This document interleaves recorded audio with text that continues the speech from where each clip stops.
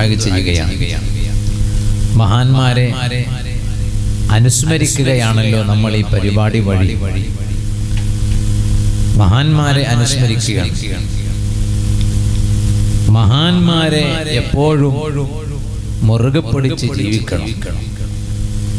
കാരണം മഹാന്മാർ എന്ന് പറഞ്ഞാൽ അവർ അള്ളാഹുവിലേക്ക് എത്തിച്ചേരാനുള്ള മാധ്യമമാണ്. ആ മഹാന്മാരെ അവലംബിക്കാതെ അള്ളാഹു താലയിലേക്ക് എത്തിച്ചേരാൻ പ്രയാസമാണ് സാധിക്കാത്തത്. അതുകൊണ്ട് തന്നെ നിങ്ങൾ നോക്ക്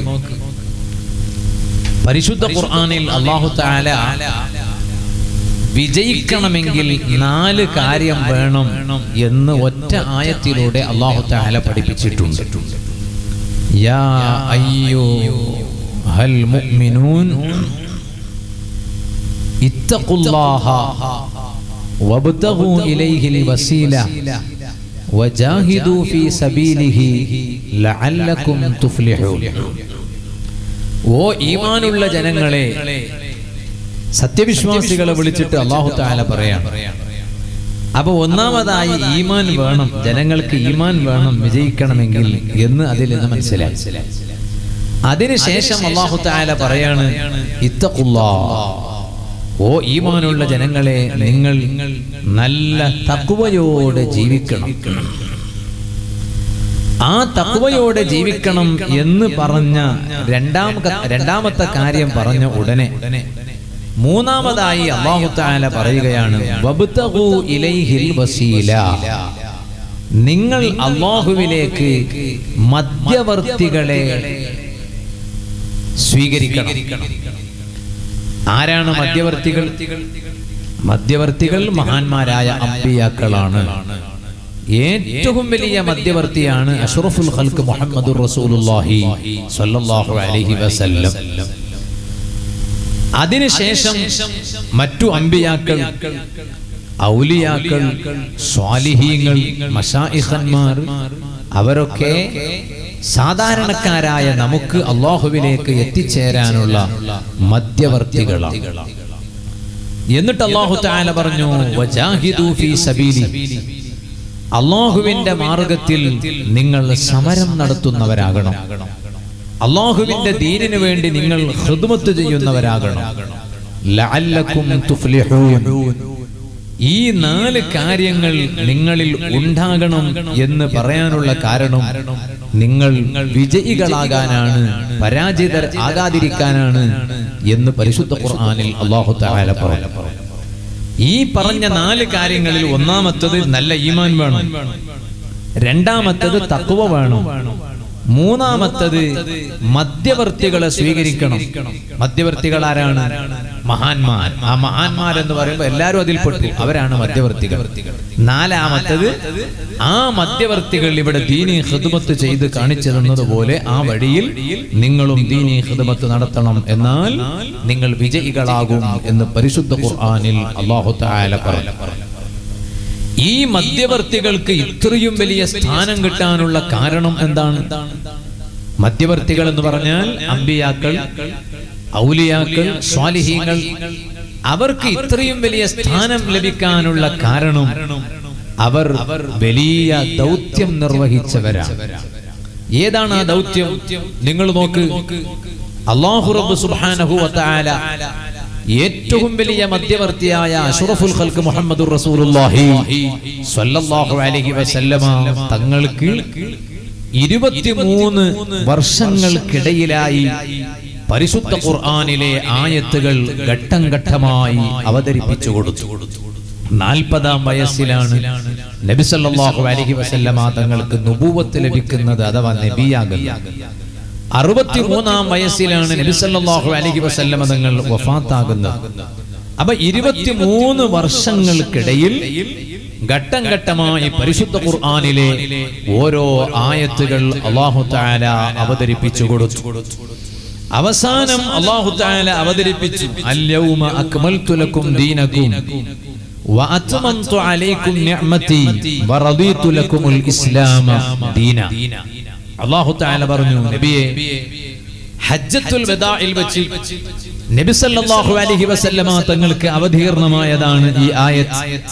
അൽ യൗമ അക്മൽതു ലക്കും ദീനകും നബിയെ ഇന്നത്തെ ഈ ദിവസം നിങ്ങൾക്ക് തങ്ങൾക്ക് വേണ്ടി ഞാൻ തങ്ങളുടെ ദീന് പൂർത്തിയാക്കി തന്നിരിക്കുകയാണ്.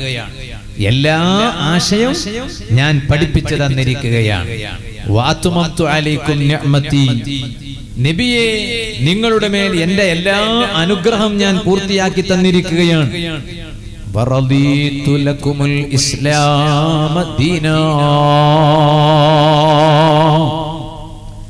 നബിയെ അവിടത്തേക്ക് ഇസ്ലാമിനെ ദീനായി തൃപ്തിപ്പെട്ട് തന്നിരിക്കുകയാണ്. ഈ ആയത്ത് അഷറഫുൽ ഖൽക്ക് സല്ലല്ലാഹു അലൈഹി വസല്ലമ തങ്ങൾക്ക് അല്ലാഹു തആല അവതരിപ്പിക്കുകയാണ്. എന്നിട്ട് അതാ നബി സല്ലല്ലാഹു അലൈഹി വസല്ലമ തങ്ങൾക്ക് വലിയ ദൗത്യം ഏൽപ്പിക്കുന്നു ആ ആശയങ്ങൾ മുഴുവനും ജനങ്ങൾക്ക് പഠിപ്പിക്കണം ജനങ്ങളിൽ എത്തിക്കണം. അഷറഫുൽ ഖൽക്ക് സല്ലല്ലാഹു അലൈഹി വസല്ലമ തങ്ങളോട് അല്ലാഹു താല പറഞ്ഞ ആശയം പരിശുദ്ധ ഖുർആനിലുണ്ട്. അതാണ് ഞാൻ എന്റെ വാദിന്റെ തുടക്കത്തിൽ ഓതി കേൾപ്പിച്ച ആയത്ത്. യാ അയ്യുഹർ റസൂൽ. ഓ നബിയേ നബി സല്ലല്ലാഹു അലൈഹി വസല്ലമ തങ്ങളെ വിളിച്ചിട്ട് അല്ലാഹു തആല പറയുകയാണ് ഓ നബിയേ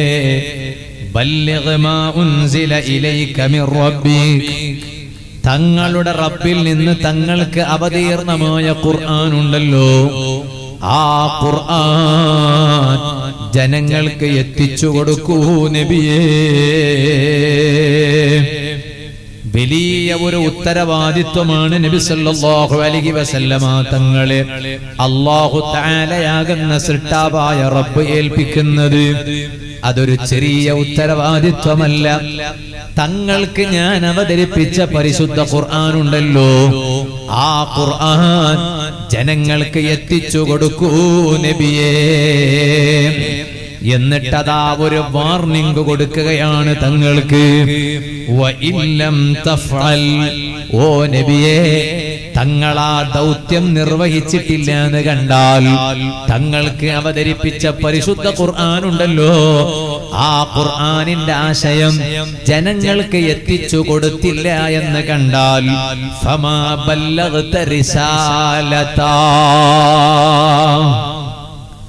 തങ്ങൾക്ക് ഏൽപ്പിച്ച ദൗത്യം തങ്ങൾ നിർവഹിച്ചിട്ടില്ല എന്നാണ് അതിന്റെ അർത്ഥം.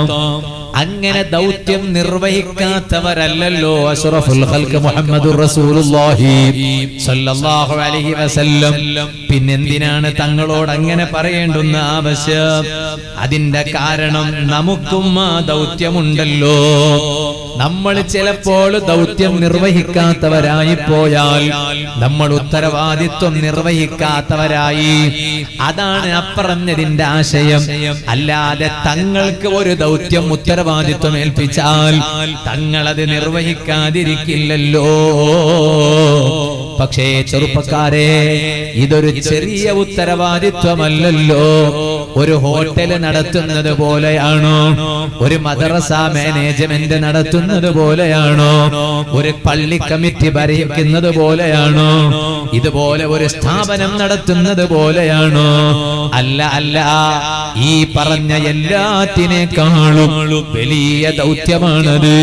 ഓ ജാരിക ബൈലിൽ ഇരുന്ന് എന്റെ സംസാരം ശ്രവിക്കുന്ന ഈമാനുള്ള ഉമ്മമാരെ സഹോദരിമാരെ വീട്ടിന്റെ കാര്യം ഭരിക്കേണ്ടുന്ന അധികാരികളല്ലേ നിങ്ങൾ? എന്നാൽ ഒരു വീട് ഭരിക്കുന്നത് പോലെയാണോ? ഒരു വീട്ടിലെ അടുക്കള ഭരിക്കുന്നത് പോലെയാണോ? ഒരു വീട്ടിലെ ലിവിംഗ് റൂം ശ്രദ്ധിക്കുന്നത് പോലെയാണോ? ഒരു വീട്ടിലെ ബെഡ്റൂമിന്റെ കാര്യം നിയന്ത്രിക്കുന്നത് പോലെയാണോ? ഒരു വീട്ടിലെ ബാത്റൂം വൃത്തിയാക്കുന്നത് പോലെയാണോ? അല്ല അല്ല അതിനെല്ലാം ഒരു പരിധിയുണ്ട്. അതിനെല്ലാം ഒരു പരിധിയുണ്ട്.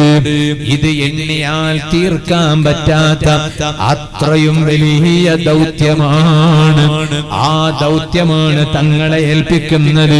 പക്ഷേ ആ ദൗത്യം നിർവഹിക്കുമ്പോൾ ഒരുപാട് പ്രയാസങ്ങൾ നേരിടേണ്ടി വരും. ചെറിയ പ്രയാസമൊന്നുമല്ല. ഒരു സ്ഥാപനം നടത്തുമ്പോഴുള്ള പ്രയാസം എത്രയാണ്? സ്ഥാപനം നടത്തുന്നവർക്കറിയാം. ഒരു പള്ളി കമ്മിറ്റി ഭരിക്കുമ്പോഴുള്ള പ്രയാസം എത്രയാണ്? ഭരിക്കുന്നവർക്കറിയാം. ഒരു മദ്രസയുടെ പ്രവർത്തനങ്ങൾ മുന്നോട്ട് കൊണ്ടുപോകുന്നതിന്റെ ഗൗരവം എത്രയാണ്? അത് കൊണ്ടുപോകുന്നവർക്കറിയാം. ഒരു സംഘടനക്ക് നേതൃത്വം നൽകുന്നതിന്റെ മഹത്വം എത്രയാണ്? അതിന്റെ ഗൗരവം എത്രയാണ്? നേതൃത്വം നൽകുന്നവർക്കറിയാം. പ്രവർത്തിക്കുന്നവർക്കറിയാം. എന്നാൽ അതെല്ലാറ്റിനേക്കാൾ ഏറ്റവും വലിയ ഗൗരവമുള്ളതാണ് അള്ളാഹുവിന്റെ റസൂൽ അലൈഹി വസല്ലം തങ്ങൾക്ക് സൃഷ്ടാവായ റബ്ബ് ഏൽപ്പിക്കുന്നത്. ആ ദൗത്യം നിർവഹിക്കുമ്പോൾ ഒരുപാട് എതിർപ്പുകൾ വരും. ഒരുപാട് വിരോധമുണ്ടാകും. ഒരുപാട് എതിരുപക്ഷമുണ്ടാകും. ആ എതിർപ്പുകളും വിരോധാഭാസങ്ങൾ ഉണ്ടാകുമ്പോ തളരാൻ പാടില്ല. കുനിഞ്ഞു കൊടുക്കാൻ പാടില്ല തോറ്റു കൊടുക്കാൻ പാടില്ല. എന്തേ കാരണം? ഇതെന്റെ സ്വകാര്യമായ വ്യക്തിപരമായ കാര്യമല്ല. ഇത് സൃഷ്ടാവായ റബ്ബിന്റെ ദീനിന്റെ കാര്യമാണ്. ആ റബ്ബിന്റെ ദീനിന്റെ കാര്യത്തിന്റെ മുന്നിൽ തോറ്റു കൊടുക്കുന്ന പ്രശ്നമേ ഇല്ല. അപ്പൊ നല്ല കാവൽ വേണം. നല്ല കാവൽ വേണം.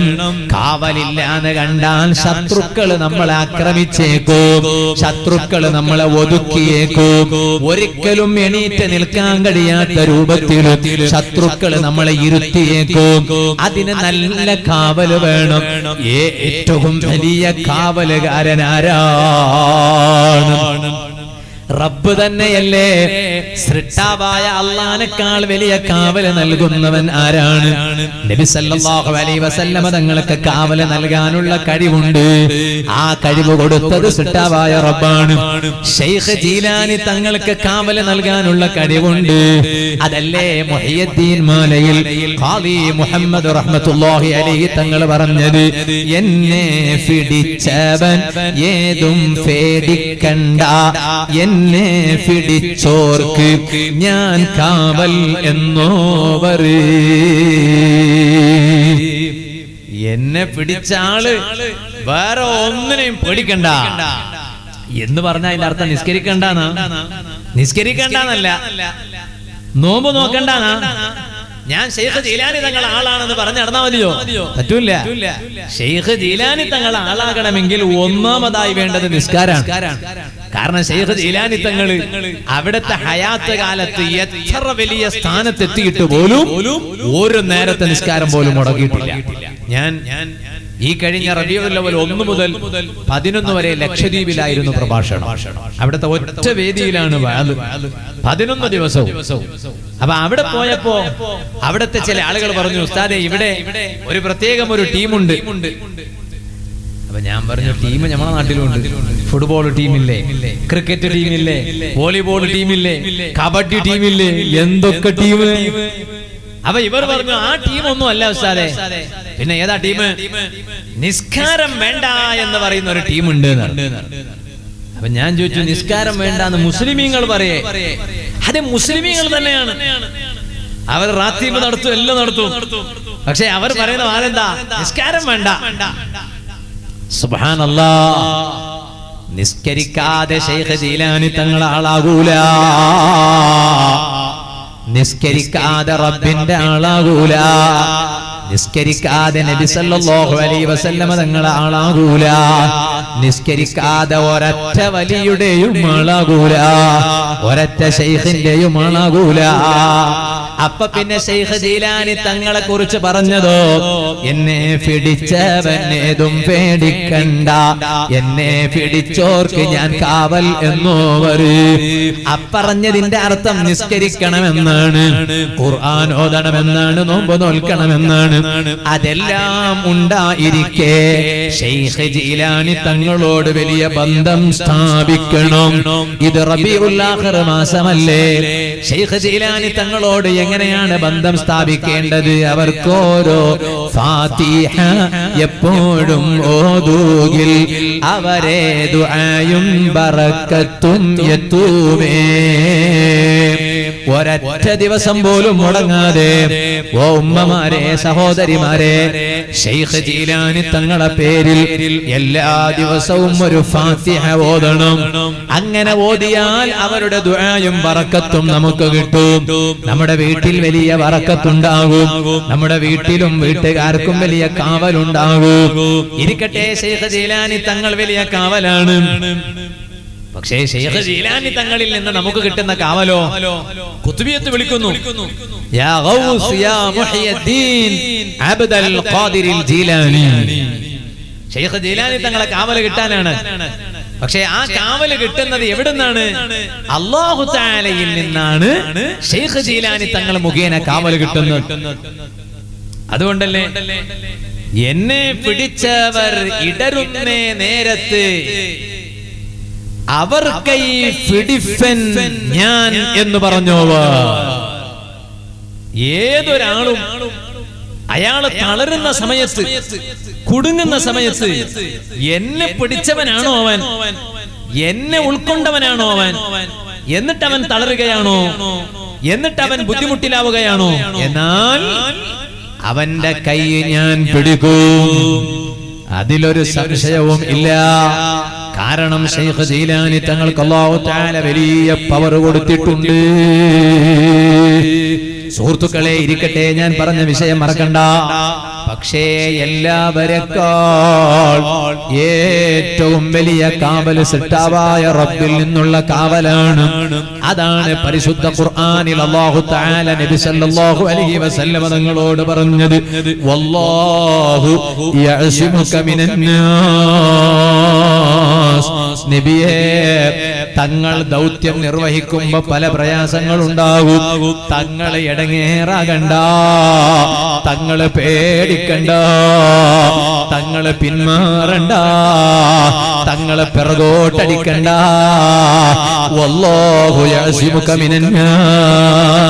സർവജനങ്ങളിൽ നിന്ന് അള്ളാഹു താല തങ്ങൾക്ക് സെക്യൂരിറ്റി നൽകും കേട്ടു. സംരക്ഷണം നൽകും കേട്ടു. സുഹൃത്തുക്കളെ ആ ദൗത്യം നിർവഹിച്ചു അഷ്റഫുൽ ഖൽക്ക് മുഹമ്മദുർ റസൂലുള്ളാഹി സ്വല്ലല്ലാഹു അലൈഹി വസല്ലം.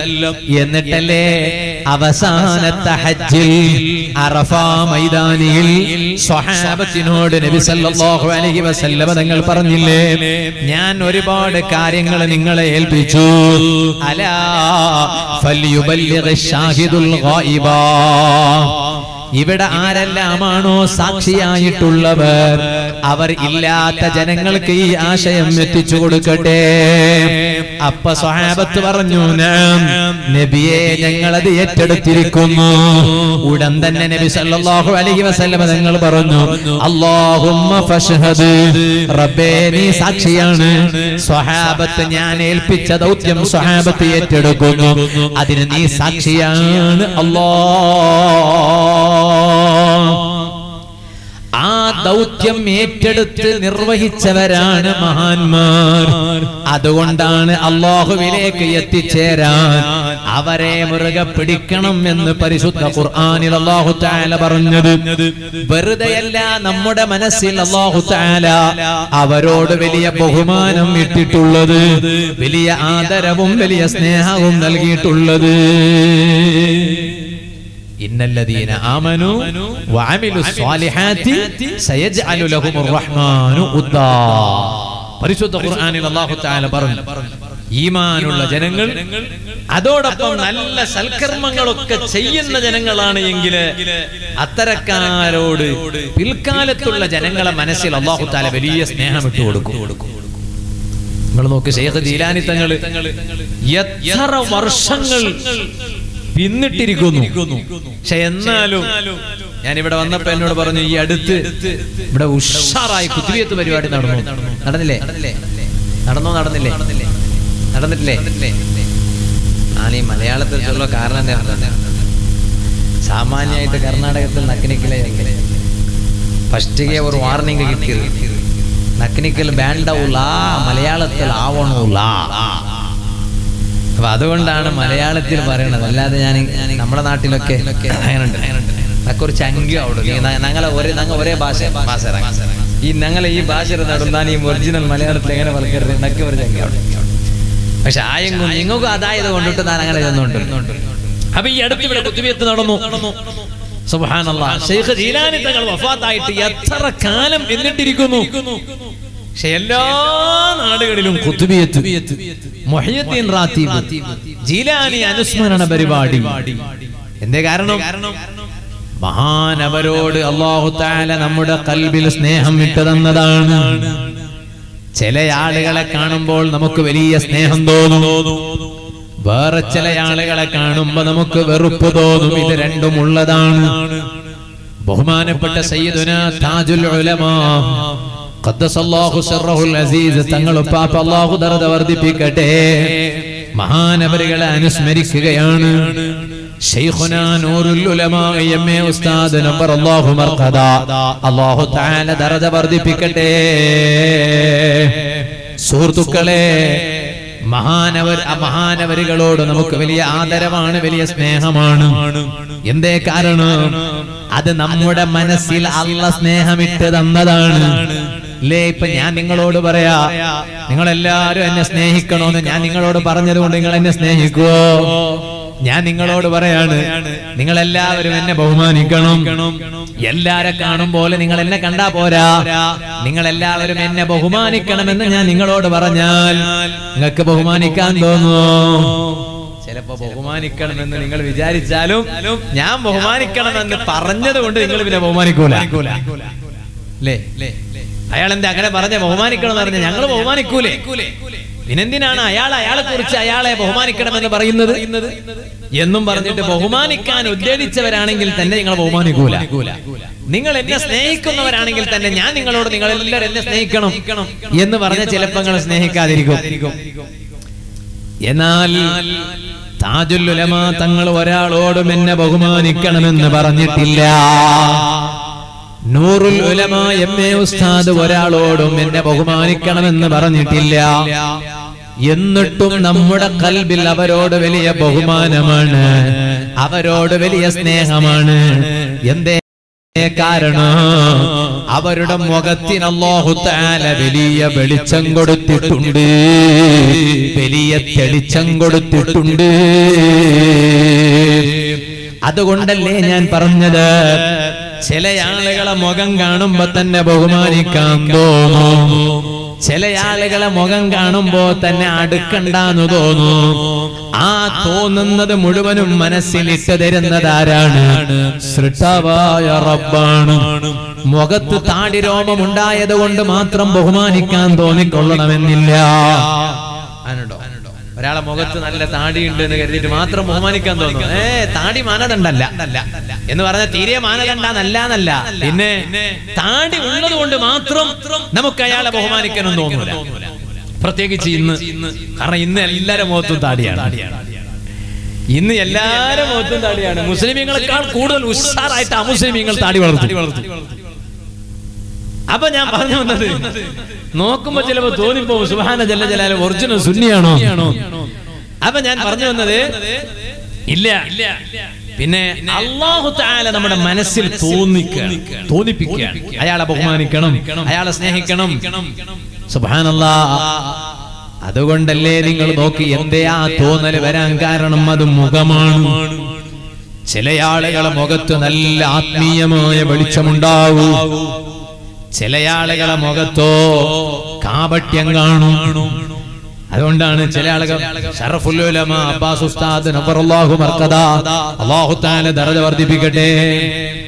ഒരിക്കലും എന്നെ കൂട്ടിക്കൊണ്ടുപോയി കുവൈത്തിലേക്ക് ഒരു പ്രഭാഷണത്തിൽ അൽമദീനയുടെ ആവശ്യത്തിന് വേണ്ടി പോയതാ. അപ്പൊ അവിടെ ഹോട്ടലിൽ താമസിക്കുന്ന സമയത്ത് കുറെ കാര്യങ്ങൾ ഇങ്ങനെ പറഞ്ഞു കൂട്ടത്തിൽ പറഞ്ഞു. നൗഫൽ സഖാഫി എനിക്കൊരു പ്രത്യേകത ഉണ്ട് എന്താ പ്രത്യേകത എന്ന് ചോദിച്ചാൽ ഒരാളെ മുഖത്തേക്ക് നോക്കിയിട്ട് പറയാൻ കഴിയും ഇവൻ സുന്നിയാണോ അല്ലേ? വലിയ വിഷയല്ലേ ഒരാളെ മുഖത്തേക്ക് നോക്കിയിട്ട് പറയാൻ കഴിയും അഹലുസുന്നത്തി വൽ ജമാഅത്തിന്റെ ആശയം ഉൾക്കൊണ്ട് ജീവിക്കുന്നവനാണോ ഇവൻ അല്ലേ എന്ന് മനസ്സിലാക്കാൻ കഴിയും. അതിന് ഫിറാസത്തുൽ മുഅ്മിൻ എന്ന് പറയും. ചില മുഅ്മിനീങ്ങൾക്ക് അല്ലാഹു തആല അങ്ങനെ വലിയ ഒരു പരിചയ അനുഭവം അല്ലാഹു തആല കൊടുക്കും. അതുകൊണ്ടല്ലേ നിങ്ങൾ നോക്കൂ ഉസ്മാൻ റളിയല്ലാഹുവിന്റെ സദസ്സിലേക്ക് സയ്യിദുന ഉസ്മാൻ ഇബ്നു അഫ്ഫാൻ റളിയല്ലാഹു മഹാനവരുകളെ സദസ്സിലേക്ക് ഒരാൾ വന്നിരുന്നു. ഇരുന്ന ഉടനെ ഉസ്മാൻ ഇബ്നു അഫ്ഫാൻ റളിയല്ലാഹു അൻഹു ഇയാളോട് ചോദിച്ചു സുബ്ഹാനല്ലാഹ്. തെറ്റ് ചെയ്തിട്ട് എന്റെ സദസ്സിലേക്ക് വന്നിരിക്കുകയാണോ? ഇയാൾക്ക് വല്ലാത്ത അത്ഭുതം. ഞാൻ തെറ്റ് ചെയ്തിട്ടാണ് ഈ സദസ്സിൽ വന്നിരിക്കുന്നത് അത് ശരിയാണ്. പക്ഷേ ഉസ്മാൻ അഫാൻ തങ്ങൾക്ക് അതെങ്ങനെ മനസ്സിലായി? അന്ന് വാട്സപ്പ് ഇല്ല അന്ന് ഫേസ്ബുക്ക് ഇല്ല ഇൻസ്റ്റാഗ്രാം ഇല്ല സോഷ്യൽ സോഷ്യൽ മീഡിയയുടെ ഉപയോഗമില്ല. ഇന്ന് എവിടെയെങ്കിലും ഒരു മോളിൽ ഒരു പർദ്ദ ധരിച്ച പെണ്ണിനെ ഒരു ചെറുപ്പക്കാരൻ കെട്ടിപ്പിടിച്ചാൽ വീഡിയോ ഉടൻ തന്നെ വന്നുപോയി. സുബഹാന ജല്ല ജലാലുഹു. ഏതെങ്കിലും ഒരു കെട്ടിടത്തിന്റെ പിന്നിൽ ഒരാണും പെണ്ണും തമ്മിൽ ചുംബിക്കുന്നത് ഉടൻ തന്നെ വീഡിയോ വന്നുപോയി. അതിന് വീഡിയോ ഷൂട്ടിംഗിന്റെ സംവിധാനമുണ്ട്. ഇതുപോലെ വാട്സപ്പിൽ ഷെയർ ചെയ്യുന്ന സംവിധാനമുണ്ട്. ഫേസ്ബുക്കിൽ അപ്ലോഡ് ചെയ്യുന്ന പോസ്റ്റ് ചെയ്യുന്ന സംവിധാനമുണ്ട്. അതേ സമയത്ത് വാട്സപ്പ് ഇല്ലാത്ത കാലം മൊബൈൽ ഇല്ലാത്ത കാലം ഫേസ്ബുക്കോ ഇൻസ്റ്റാഗ്രാമോ ട്വിറ്ററോ സോഷ്യൽ മീഡിയ ഒന്നും തന്നെ ഇല്ലാത്ത കാലം. അക്കാലത്ത് തങ്ങൾക്ക് എങ്ങനെ മനസ്സിലായി? ഈ മനുഷ്യൻ തെറ്റ് ചെയ്തിട്ടാണ് ഈ സദസ്സിലേക്ക് വന്നത്. എങ്ങനെ മനസ്സിലായി? ആ വന്ന മനുഷ്യൻ ഒരത്ഭുതം അയാൾക്കറിയാം അയാൾ തെറ്റ് ചെയ്തിട്ടാണ് ഈ സദസ്സിലേക്ക് വന്നതെന്ന്. പക്ഷെ അയാളെ സംശയം അതല്ല. അയാളെ അത്ഭുതപ്പെടുത്തിയ കാര്യം എന്താണെന്നറിയോ? ഇത് ഉസ്മാൻ അഫാൻ തങ്ങൾക്ക് എങ്ങനെ മനസ്സിലായി. ഉടൻ തന്നെ ആ വന്ന മനുഷ്യൻ ആഗതൻ. ഉസ്മാനുബിൻ അഫാൻ തങ്ങളോട് ഒരൊറ്റ ചോദ്യം ചോദിച്ചു. അവഹയും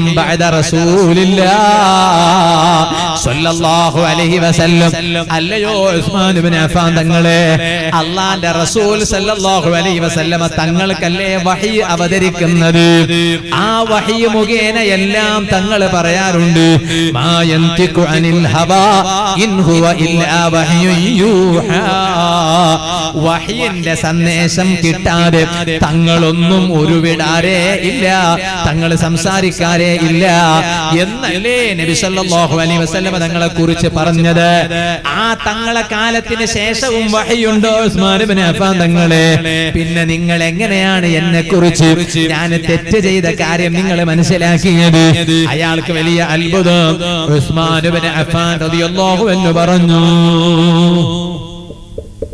റളിയല്ലാഹു പറഞ്ഞു എനിക്ക് വഹി ഇറങ്ങിയത് കൊണ്ടൊന്നുമല്ല നബി സല്ലല്ലാഹു അലൈഹി തങ്ങൾക്ക് ശേഷം വഹി ഉള്ളത് കൊണ്ടും അല്ല പിന്നെ എങ്ങനെയാണ് എനിക്ക് മനസ്സിലായതെന്നറിയോ? ചില ആളുകളെ മുഖം കാണുമ്പോ തിരിയും. മുഖം കാണുമ്പോ നല്ല ലക്ഷണം ബോധ്യപ്പെടും. മുഖം കാണുമ്പോ കള്ള ലക്ഷണം ബോധ്യപ്പെടും. അത് ജമാഅത്തിന് വന്നതുകൊണ്ട് മാത്രമായില്ല. ജുമഅക്ക് നേരത്തെ വന്ന് അൽക്കാഫ് ഓതിയത് കൊണ്ട് മാത്രമായില്ല അതുകൊണ്ട് മാത്രം മുഖത്തുള്ള കള്ള ലക്ഷണം നീങ്ങൂല അതുകൊണ്ടല്ലേ ചില ആളുകളെ മുഖത്ത് കാണുമ്പോ നല്ല ലക്ഷണമുണ്ടാവും? നോക്ക് താജുല്ലുലമാ തങ്ങളെ മുഖത്തേക്ക് നോക്കുമ്പോ തന്നെ നമ്മളെ കൽവിൽ ഈമാൻ കൂടി വരിക. അല്ലേ? താജുല്ലുലമാ തങ്ങളെ മുഖത്തേക്ക് നോക്കുമ്പോ നമ്മുടെ കൽവിൽ മാറ്റം വന്നുപോയി.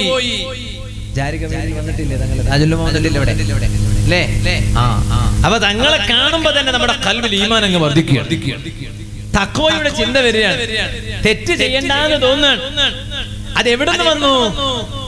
അത് നമ്മൾ എന്തുകൊണ്ട് കിട്ടിയതാണ് ആ മുഖത്ത് കാണുന്ന ആത്മീയത? അത് നമ്മളിങ്ങനെ താടി കുറെ ചീകി വെച്ചിട്ട് എല്ലാ ദിവസവും സെറ്റാക്കി വെച്ചത് കൊണ്ട് മാത്രം നമ്മുടെ മുഖത്ത് ആത്മീയത കിട്ടൂല. മുഖത്ത് ആത്മീയത കിട്ടണമെങ്കിൽ ആ മുഖത്തെ നിയന്ത്രിക്കുന്ന ഒരു രാജാവ് നമ്മുടെ ശരീരത്തിലുണ്ട്. ആ രാജാവിനാണ് ആദ്യമായ ആത്മീയത വേണ്ടത്. അതേതാണ്? അല്ല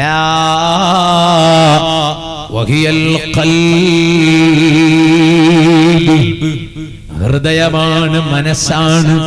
മനസ്സിൽ നല്ല കരകളഞ്ഞ ആത്മീയതയുണ്ടോ?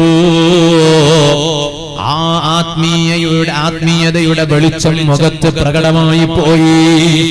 താജുല്ലുലമ തങ്ങൾ എപ്പോഴും പറഞ്ഞിരുന്നൊരു വാക്യം എന്താണ് സുബഹാനല്ലാ ഇബാദത്തിനൊരു കുറവുമില്ലല്ലോ തക്കുവക്കൊരു കുറവുമില്ലല്ലോ. അള്ളാഹു താല വലിയ തൗഫീഖല്ലേ മഹാനവരുകൾക്ക് നൽകിയിട്ടുള്ളത്? അത്രയും വലിയ തൗഫീഖ് അള്ളാഹു താല മഹാനവരുകൾക്ക് നൽകിയിട്ട് പോലും നിങ്ങൾ നോക്ക് മഹാനവരുകളുടെ കൽബിൽ ഞാൻ ഒരു വലിയവനാണെന്ന ചിന്ത വന്നില്ല. പകൽ മുഴുവനും ദർസാണ്.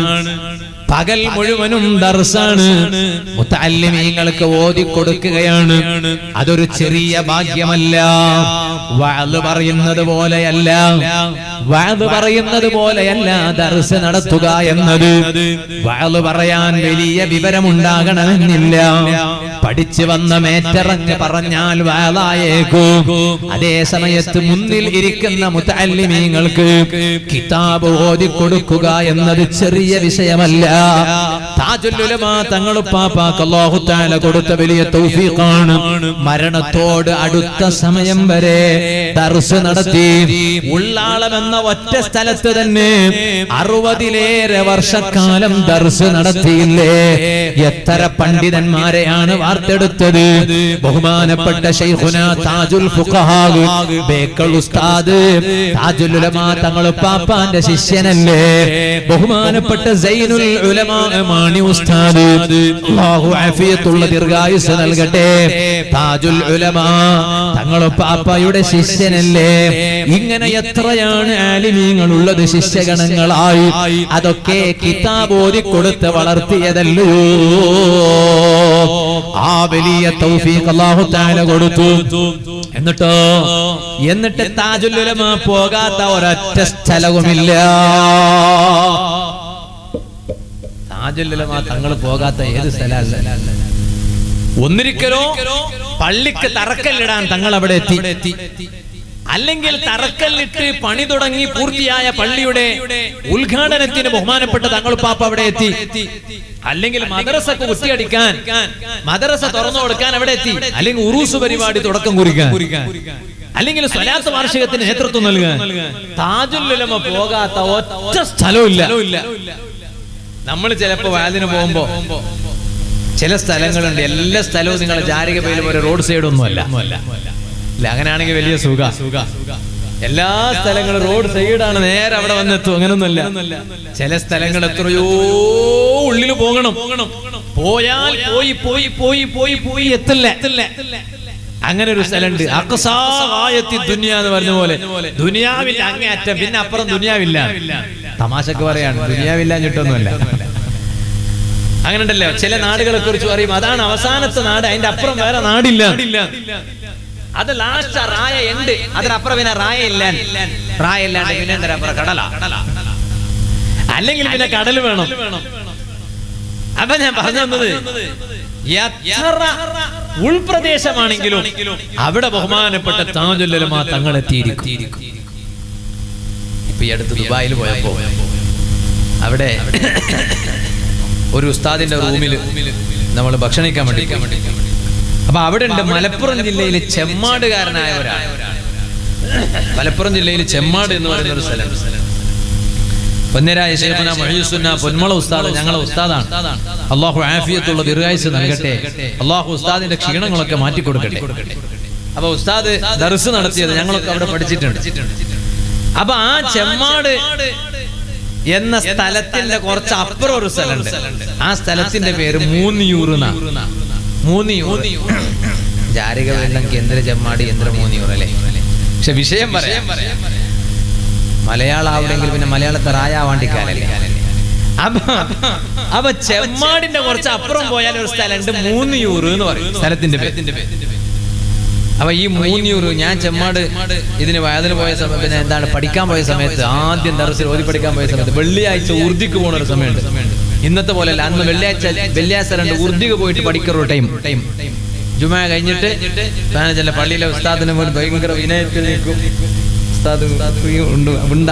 വലിയ ബഹുമാനം. എന്തിനായി ബഹുമാനം. തരും ഒന്ന് ആ ഫ്രീ ഉണ്ട് എന്ന് പറഞ്ഞു കിട്ടാനാണ്. ചിലപ്പോ ഞങ്ങൾ ഇങ്ങനെ ആക്കി പോയാൽ ഫ്രീ എല്ലാ ആളുണ്ട് എന്ന് പറഞ്ഞാലോ? അപ്പൊ അതുകൊണ്ട് അവിടെ പോ. ഇപ്പൊ അപ്പൊ അങ്ങനെ ആദ്യമായിട്ട് കേരളത്തിൽ ഞാൻ പഠിക്കാൻ പോയപ്പോ വെള്ളിയാഴ്ച ഉറുദി പഠിക്കാൻ പോയി. ആദ്യം പോയ ഒരു പള്ളിയാണ് മൂന്നൂറിന്റെ അടുത്ത് കടവ് ഒരു സ്ഥലം ഒരു ഉള്ളിൽ പ്രദേശം. അപ്പൊ ഇയാളെ നാട് ആ മൂന്നൂറാണ് പക്ഷെ ഇയാൾ ഒരിക്കൽ ഇയാൾ പറഞ്ഞു ഞാൻ ഒരിക്കൽ താജുലുലമ തങ്ങൾ പാപ്പനെ കാണാൻ പോയി. കാണാൻ പോയപ്പോ എന്നോട് ചോദിച്ചു എവിടെയാ നാട്? അങ്ങനെ തങ്ങൾ അങ്ങനെയാണ് എല്ലാവരുടെ വലിയ ഗൗരവത്തിൽ സംസാരിക്കും.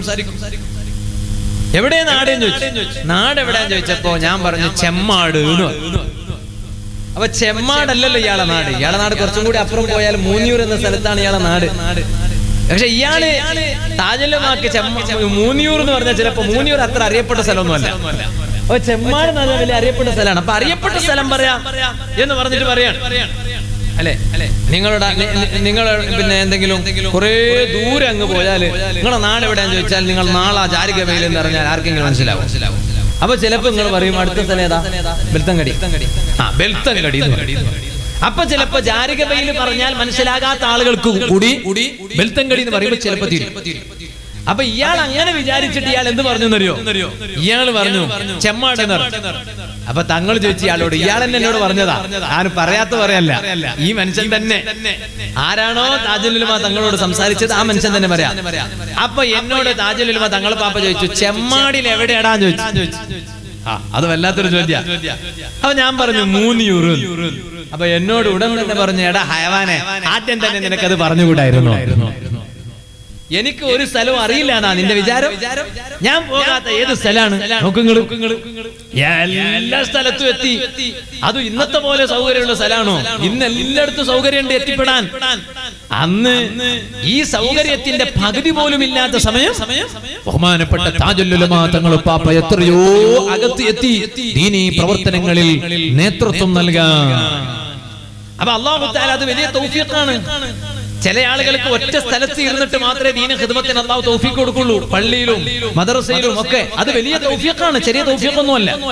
മദ്രസയിലെ പഠിപ്പിക്കുക കുട്ടികൾക്ക് പഠിപ്പിക്കുക എന്ന് പറഞ്ഞാൽ ചെറിയ വിഷയ. അല്ലേ എപ്പോഴും എന്റെ ഉസ്താദ് എന്നോട് പറയും ദർസിൽ പഠിപ്പിച്ച ഉസ്താദിനെ കാണും വലിയ ബഹുമാനം തോന്നേണ്ടത് മദ്രസയിൽ പഠിപ്പിച്ച ഉസ്താദിനോട് മാലിന്യങ്ങളോട് എന്തേ കാരണം? കാരണം? അവരാണ് ആദ്യം അലിഫുബാ പഠിപ്പിച്ചത്. ഈ അലിഫുബാവ് പഠിപ്പിച്ചിട്ട് ഉണ്ടായിരുന്നെങ്കിൽ മാത്രമേ വലിയ വലിയ കിതാബ് ഓതാൻ കഴിയുമായിരുന്നു. അപ്പൊ അതുകൊണ്ട് ഞാൻ ഇപ്പോഴും എന്റെ ഉസ്താദുമാരെ പേരിൽ മരണപ്പെട്ടു പോയ ഉസ്താദുമാരെ പേരിൽ ഫാത്തിയ ഓതി ഹത്യ ചെയ്യുമ്പോൾ ഞാൻ ഇപ്പോഴും എന്നെ പഠിപ്പിച്ച കളസയിൽ എന്നെ പഠിപ്പിച്ച ഒരു ഉസ്താദ് ഉണ്ടായിരുന്നു ദാരിം ഉസ്താദ്. മൂപ്പർക്ക് മരണപ്പെട്ടു പോയി. അള്ളാഹു താല പുറത്തു കൊടുക്കട്ടെ. ഓരോ പേരിൽ എപ്പോഴും ഞാൻ ഒരു ഫാത്തിയ ഓതും. എന്താ കാരണം? നമുക്ക് മദ്രസയിൽ ഇൽമ പഠിപ്പിച്ചു തന്ന ഉസ്താദുമാരാണ്. അപ്പൊ മദ്രസയിൽ ഇൽമ പഠിപ്പിക്കുന്ന ഉസ്താദുമാർക്ക് വലിയ ബഹുമാനാണ്. ചെറിയ ബഹുമാനമൊന്നുമല്ല. നിങ്ങളൊക്കെ നിങ്ങളെ നാട്ടിലെ മദ്രസയിൽ പഠിപ്പിക്കുന്ന നിങ്ങളെ മക്കളെ പഠിപ്പിക്കുന്ന ഉസ്താദുമാരുടെ മാലിന്യങ്ങൾ ചിലപ്പോ മറ്റുള്ളവരെ ബഹുമാനിക്കുമ്പോൾ നിങ്ങളവരെ ബഹുമാനിക്കൂല എന്നുണ്ടോ ഉം, പറ്റൂല ബഹുമാനിക്കണം. കാരണം നിങ്ങളെ മക്കളെ ഉസ്താദാണ് നിങ്ങളെ മക്കളെ ഉസ്താദാണ്. മദ്രസത്തെ ഉസ്താദല്ല. പിന്നെ മദ്രസയിലെ ഉസ്താദല്ല. നിങ്ങളെ കുട്ടികളെ ഉസ്താദാണ്. അപ്പൊ എന്റെ മക്കളെ ഉസ്താദ് എനിക്ക് ഉസ്താദിനോട് എനിക്ക് വലിയ ബഹുമാനാണ്. അപ്പൊ ഞാൻ പറഞ്ഞു തന്നത് അത് വലിയ തൗഫീഖ് ഞിട്ടല്ല പക്ഷേ ഒരാൾക്ക് അള്ളാഹു തആല എല്ലാത്തിനും തൗഫീഖ് നൽകും ദർസ് നടത്താൻ അതോടുകൂടെ വാത് പറയാൻ അതോടുകൂടെ കുറ്റിയടിക്കാൻ അതോടുകൂടെ പള്ളി ഉദ്ഘാടനം ചെയ്യാൻ അതോടുകൂടെ ഉറൂസിന് നേതൃത്വം നൽകാൻ ഇതെല്ലാ തൗഫീഖും അല്ലാഹു തആല നൽകിയ മഹാനാണ്. ബഹുമാനപ്പെട്ട സയ്യിദുന താജുല്ലുലമ തങ്ങൾ പാപ്പ അതിനു പുറമേ കേവലം വാൾ മാത്രമല്ല കുറ്റിയടിക്കൽ മാത്രമല്ല ദർസ് മാത്രമല്ല.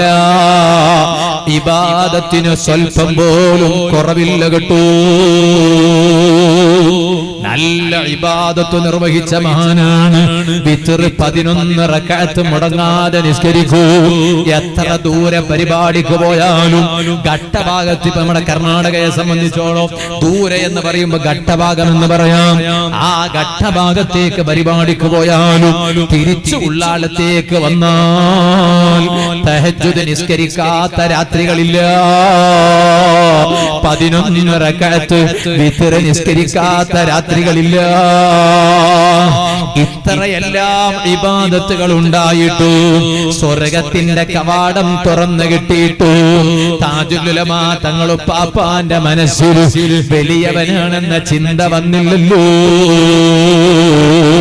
ഓ കരളിന്റെ കഷ്ണങ്ങളായ ചെറുപ്പക്കാരെ ഒരു ചെറിയ കൊടി പിടിച്ചപ്പോഴേക്ക് ഞാൻ സ്വർഗത്തിലെത്തിപ്പോയി എന്നൊരു ചിന്ത എന്റെ സുന്നത്ത് ജമാഅത്തിന്റെ പ്രവർത്തകരെ മനസ്സിൽ വന്നുകൂടാ. പ്രവർത്തനം വേണം. അത് കാലഘട്ടത്തിന്റെ അനിവാര്യതയാണ്. പക്ഷേ ഒരു കൊടി പിടിച്ചപ്പോഴേക്ക് മറ്റുള്ള എല്ലാവരെ കാണും. ഞാൻ വലിയവനായി പോയി മറ്റുള്ളവരെയൊക്കെ ഉപദേശിക്കാൻ ഞാൻ തരപ്പെട്ടവനായി പോയി എന്ന ചിന്ത കൽബിൽ വന്നുകൂടാ. അത് ഇബിലീസിന്റെ മനസ്സിൽ ഉദിച്ച ചിന്തയാണ്. അത് മഹാന്മാരെ കൽബിൽ ആ ചിന്ത ഉദിക്കാൻ പാടില്ല. താജുലുലമാ തങ്ങളെ മനസ്സിൽ ആ ചിന്ത ഉദിച്ചില്ലല്ലോ. ഓ എന്റെ വാലുകൾക്കെന്ന കേൾക്കുന്ന കാരണവന്മാരെ നിങ്ങളോട് ഞാനൊന്ന് പറയട്ടെ. ഇഷാ നിസ്കാരത്തിന് നിങ്ങൾ വരുന്നു. ഹത്താദും കഴിഞ്ഞിട്ടേ നിങ്ങൾ തിരിച്ചു പോകാറുള്ളൂ. പക്ഷെ അപ്പോഴേക്ക് നിങ്ങൾ സ്വർഗത്തിൽ എത്തിക്കഴിഞ്ഞു എന്ന ഉറപ്പ് ഉണ്ടായിക്കൂടാ പ്രതീക്ഷ വേണം. പ്രതീക്ഷ വേണം. അത് നല്ല ഈമാനുള്ളവന്റെ അടയാളമാണ്. പക്ഷേ ഞാൻ വലിയവനായി പോയി. മറ്റുള്ളവരൊക്കെ കുറ്റം പറയാൻ ഞാൻ തരപ്പെട്ടവനായി പോയി. എന്ന ചിന്ത കൽവിൽ വന്നുകൂടാ. ഓ വാല കേൾക്കുന്ന ഉമ്മമാരെ വാല കേൾക്കുന്ന സഹോദരിമാരെ ഇപ്പൊ നിങ്ങളൊക്കെ ഹദ്ദാദ് പതിവാക്കുന്നവരാണ്. സ്വലാത്തുകൾ നിത്യമാക്കുന്നവരാണ്. പക്ഷേ ചോദിക്കട്ടെ നിങ്ങളല്ലാത്ത മറ്റു സ്ത്രീകൾ നിങ്ങളെക്കാൾ ചെറിയവരാണെന്ന ചിന്ത നിങ്ങളെ കൽവിലുണ്ടായിക്കൂടാ. കൃത്യമായും നിസ്കരിക്കുന്ന ഉമ്മ. എന്നും ഹദ്ദാദ് റാത്തീബ് ചൊല്ലുന്ന സഹോദരി. മറ്റു ഉമ്മമാരെ സഹോദരിമാരെ കാണുമ്പോ അവരൊന്നും കൊള്ളരുതാത്തവരാണ്. നിങ്ങൾ വലിയ ജഗബുകയാണ് ഉഷാറാണ് എന്ന ചിന്ത നിങ്ങളെ കൽബിൽ വന്നുകൂടാ. അത് പിശാചിയുടെ മനസ്സിൽ ഉദിച്ച ചിന്തയാണ്. അത് ഈമാനുള്ള ജനങ്ങളെ മനസ്സിൽ ഉദിച്ചുകൂടാ. എന്റെ പിശാചിയുടെ കൽബിൽ ഉദിച്ച ചിന്ത എന്ന് പറയാൻ കാരണം ആദം നബി അലഹിസ്സലാമിനെ അള്ളാഹു താല പടച്ചു. ആ റബ്ബ് സൃഷ്ടിച്ച ആദം നബി അലഹിസ്സലാമിന് സുജൂതു ചെയ്യാൻ അള്ളാഹു താല എല്ലാവരോടും പറഞ്ഞു. അത് പരിശുദ്ധ ഖുർആനിൽ അള്ളാഹു താല പറഞ്ഞില്ലേ? ഞാൻ നിങ്ങളെ സൃഷ്ടിച്ചു ഖുർആൻ പറയാണ്. എന്നിട്ട് നിങ്ങൾക്ക് ഞാനൊരു രൂപം തന്നു. എന്നിട്ടോ? പിന്നെ ഞങ്ങൾ മലക്കുകളോട് പറഞ്ഞു ആദം നബി അലൈഹിസ്സലാമിന് സുജൂദ് ചെയ്യാൻ വേണ്ടി പറഞ്ഞു. ഫസജദൂ. എല്ലാവരും സുജൂദ് ചെയ്തു. അള്ളാന്റെ ഓർഡർ കേട്ട എല്ലാവരും സുജൂദ് ചെയ്തു. ഇല്ല ഇബ്ലീസ് ലം യകും മിനസ് ഇബ്ലീസ് സുജൂദ് ചെയ്തില്ല. അപ്പോഴാണ് റബ്ബിന്റെ ചോദ്യം ഇബ്ലീസിനോടൊരു ചോദ്യം. മാ മനഅക അല്ലാ തസ്ജുദ് ഇത് അമർത്തു. ഓ നിന്നോട് ഞാൻ കൽപ്പിച്ചപ്പോ എന്തേ എല്ലാവരും അതേ ആദം നബി അലിസ്ലാമിന് സുജൂത് ചെയ്തപ്പോ നീ എന്തേ ആദം നബിക്ക് സുജൂത് ചെയ്യാത്തത്? അപ്പ ഇബ്ലീസിന്റെ മറുപടി എന്താ? ഞാൻ തിരക്കേടില്ല എന്ന മറുപടിയാണ്. അന ഖൈറും മിൻഹു. ഖലഖതനി മിൻ നാരിൻ വഖലഖതഹു മിൻ തീൻ ഓ റബ്ബേ സൃഷ്ടാവായ റബ്ബിനോടല്ലേ ഇത് പറഞ്ഞത്? ആദം നബി അലൈഹിസ്സലാമിനേക്കാൾ ഞാനാണ് ഏറ്റവും ഉത്തമൻ. എന്റെ കാരണം? റബ്ബേ നീ ആദം നബി അലൈഹിസ്സലാമിനെ പടച്ചത് മണ്ണ് കൊണ്ടാണ്. എന്നാൽ. എന്നെ നീ സൃഷ്ടിച്ചത് തീയിൽ നിന്നാണ്. മണ്ണിനേക്കാൾ പവർ തീനാണല്ലോ അതുകൊണ്ട് തീനാലെ സൃഷ്ടിച്ച ഞാൻ കളിമണ്ണ് കൊണ്ട് സൃഷ്ടിച്ച ആദം അഹങ്കാരത്തിന്റെ ചിന്തയല്ലോ. അഹന്തയുടെ മനോഭാവമല്ലോ. അതേ റബ്ബ് ആട്ടിയോട് ചില്ലു. മഹാന്മാരെ കൽവിൽ ഒരിക്കലും അഹങ്കാരത്തിന്റെ ചിന്ത വന്നുകൂടാ.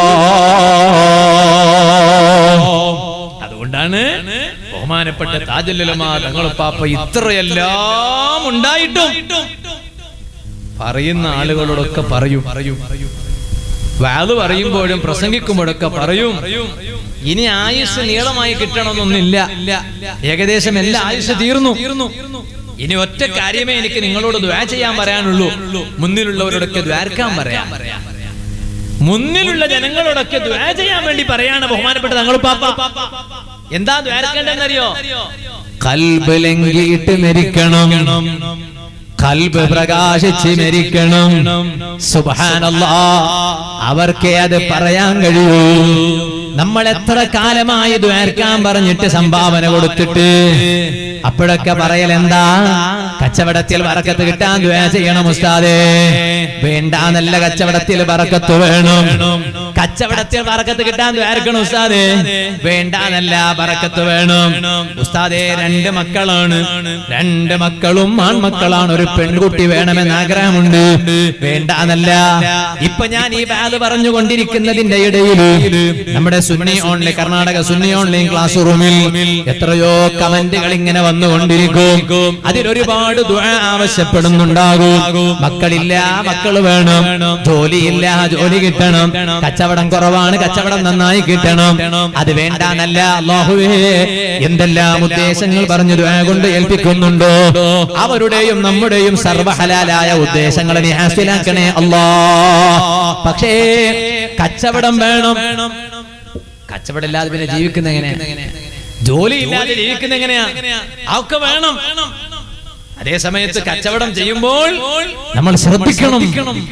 പഴയ കാലത്തുള്ള കച്ചവടങ്ങളൊക്കെ വലിയ ബറക്കത്തുള്ള കച്ചവടമായിരുന്നു. ഞാൻ കേരളത്തിൽ ഒരു സ്ഥലത്ത് വേദന പോയപ്പോ ഒരു നമ്മളൊരു സ്നേഹിതന്റെ വീട്ടിലേക്ക്. അപ്പൊ അയാളെ വീട് ഒരു പാടത്തു കൂടെയാണ് പോകേണ്ടത്. പാടം മനസ്സിലായോ? ഇല്ലെല്ലാം പറഞ്ഞിട്ട് രണ്ട് കണ്ടിട വാതിൽ ചെന്നിട്ടു അതിൽ പാടാനൊന്നും ചൊന്നത് ഗൊന്തായില്ല കാടാണ്ട ഞാൻ ഗൊന്തായിറാ പാടാന്ന് പറഞ്ഞ മനസ്സിലായോ? എന്ത്? എന്ത്? പാടെന്ന് പറഞ്ഞ മനസ്സിലായോ. പാള. ആ നല്ല മനസ്സിലായി.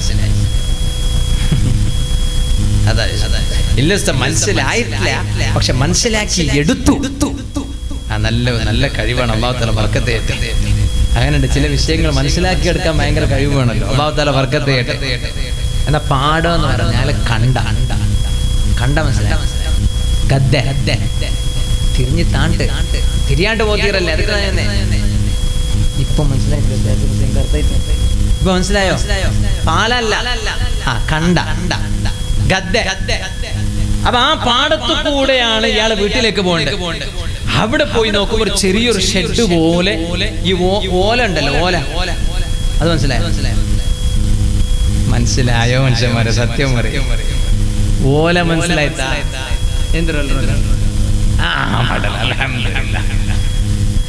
അപ്പോ ഇവിടെ നല്ലൊരു തമാശ ചൊല്ലുകയും താങ്ങാത്ര തമാശ വന്നിട്ട് സദസ് അലങ്കോലപ്പെടുത്തില്ലേ അപ്പൊ ഈ ഓല കൊണ്ടുണ്ടാക്കിയ ഒരു ചെറിയ ചെറ്റക്കുടി അതിന്റെ ഉള്ളിൽ ആകെ ഒരു രണ്ട് മൂന്ന് ആളുകൾക്ക് മാത്രമേ നിൽക്കാൻ പറ്റൂ. കൂടുതൽ ആളുകൾക്ക് നിൽക്കാൻ പറ്റൂല. ചെറിയ ഒരു ചെറ്റക്കുടിയിൽ അപ്പൊ ഞാനിങ്ങനെ അത്ഭുതപ്പെട്ടു പോയി. സുബാന ജല ജലാലു. ഈ കണ്ടത്തിൽ എന്തിനാ ഇപ്പൊ ഇങ്ങനെ ഒരു സാധനം? ഈ പാടത്തിൽ എന്തിനാ ഇതിന്റെ ആവശ്യം? അപ്പൊ ഞാൻ എന്റെ കൂടെ ഉള്ള ആളുകളോട് ചോദിച്ചു എന്താണ് ഇതിപ്പോ ഇവിടെ വരാൻ കാശ്? അപ്പൊ അവർ പറഞ്ഞെന്തരോ അത് നിസ്കരിക്കാനുള്ള സ്ഥലമാണ് എന്തിന്റെ സ്ഥലാണ്? നിസ്കരിക്കാൻ. ആര് നിസ്കരിക്കും? ആരപ്പോ ഇവിടെ ഇവിടെ റായത്തെ കാടുക വന്നിട്ട് കണ്ടെത്തുക നിസ്കരിക്കണങ്ങാര് അപ്പൊ ഇയാൾ പറഞ്ഞു ഇവിടെ കൃഷി ചെയ്യാൻ വരുന്ന ആളുകൾ അവരെ നിസ്കാരം കള ആകാതിരിക്കാൻ അവർക്ക് നിസ്കരിക്കാൻ വേണ്ടി അവർ സൗകര്യം ചെയ്തതാണ്.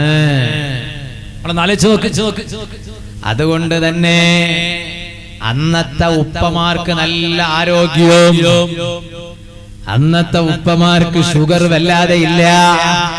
അന്നത്തെ ബാപ്പമാർക്ക് പ്രഷർ വല്ലാതെ ഇല്ല.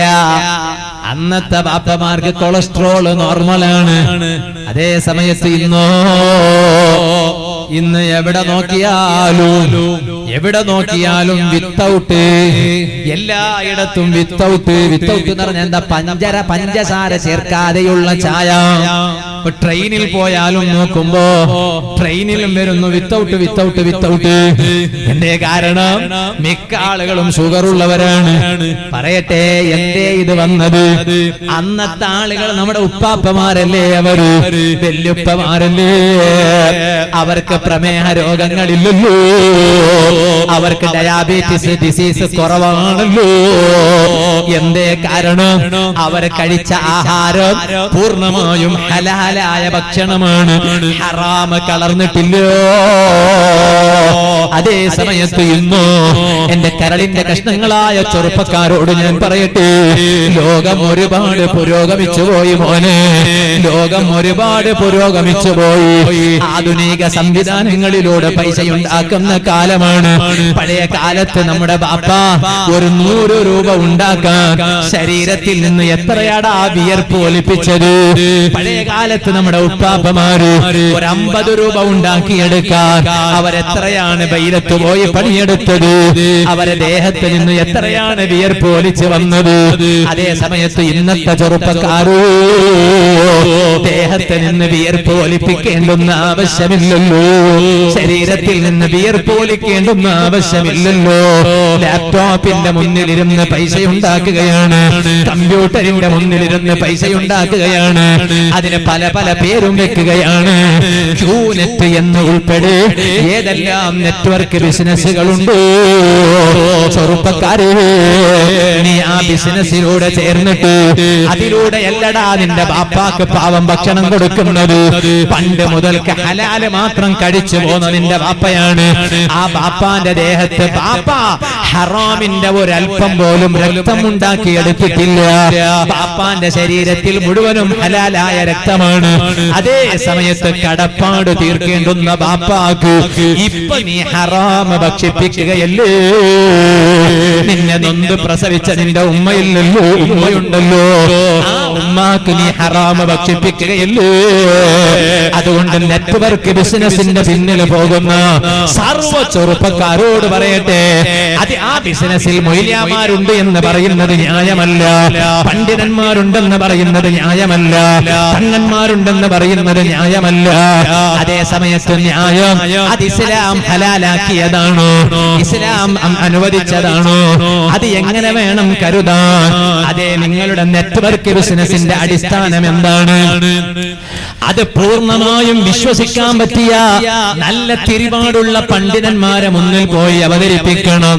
അവർ നിങ്ങൾക്ക് മസാല പറഞ്ഞു തരൂ. ആ മസാല അനുസരിച്ച് മുന്നോട്ട് നീങ്ങണം. അല്ലാതെ മറ്റു മൊയ്ലാമാരൊക്കെ നിങ്ങളെ കൂടെയുണ്ട് എന്ന് പറയുന്നത് അതിന് ന്യായമേ അല്ല. എന്തേ കാരണം? ഇങ്ങനെയുള്ള ഒരു കാലം വരുമെന്ന് കാലെ കൂട്ടി.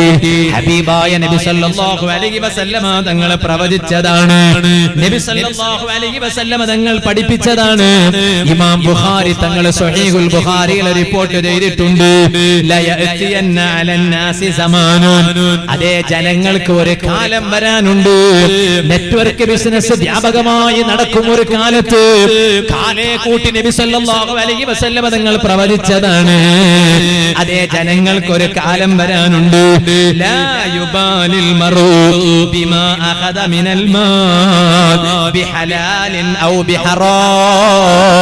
അന്നത്തെ ജനങ്ങൾ സമ്പത്ത് ശേഖരിക്കുമ്പോൾ അവർ നോക്കൂല.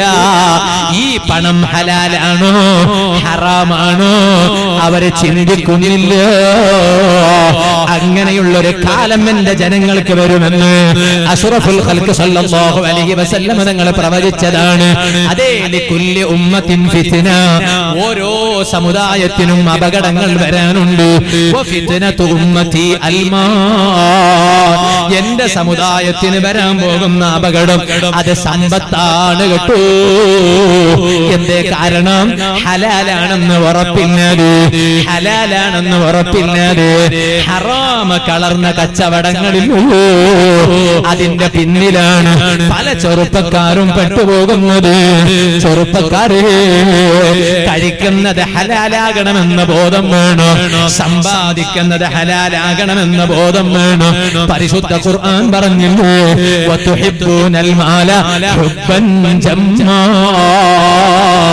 അതേ സമ്പത്ത് ശേഖരിക്കാൻ നിങ്ങൾ കൊതിക്കൂ. പൈസ.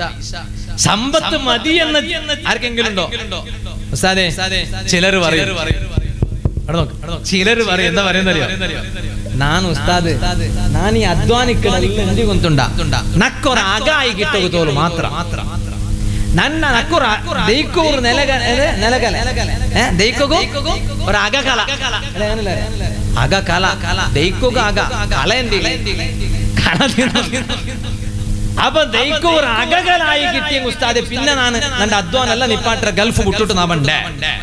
ഗൾഫുകാർ പരിപാടി ഇങ്ങനെ നോക്കുന്നുണ്ടോ ലൈവിലൂടെ. ഈ നാട്ടുകാരുണ്ടാവും അല്ലാത്തവരൊക്കെ ഉണ്ടാവും. പ്രവാസികൾ ഒരുപാട് റബ്ബേ പ്രവാസികൾക്ക് നീ വർക്കത്ത് ചെയ്യണം റഹ്മാനെ? അപ്പൊ ഞാൻ പറഞ്ഞു വന്നത് അപ്പൊ ഒരു അകകാലായി കിട്ടുന്നതോളൂ ഉസ്താദ് പിന്നെ എന്റെ ഇത് ഇതെല്ലാം നിപ്പാട്ടിയിട്ട് പണ്ടേ ഉസ്താദെ തീർത്തല്ലേ ഏഹ് നാപ്പോ അല്ലെങ്കിൽ അയ്യപ്പ കഴിഞ്ഞിട്ട് പിന്നെ പാട് ഉടമേ നീക്കിടേണ്ടി ഉസ്താദ്. എന്ന് പറയും എന്ന് പറയും. അപ്പൊ അലഹമില്ല അള്ളാഹു താല അവന് നല്ലൊരു അകം അകം കൊടുത്തു. വീട് കൊടുത്തു. കൊടുത്തു. ഈ വീട് കൊടുത്തതിന് ശേഷം ഇയാൾ വീണ്ടും നാട്ടിലേക്ക് പോണില്ല. ഇയാൾ വീണ്ടും അവിടെ തന്നെയാണ്. അപ്പൊ ഇയാൾ ചോദിച്ചു അല്ല ആചാർ നിങ്ങല്ലേ ചൊന്നേ?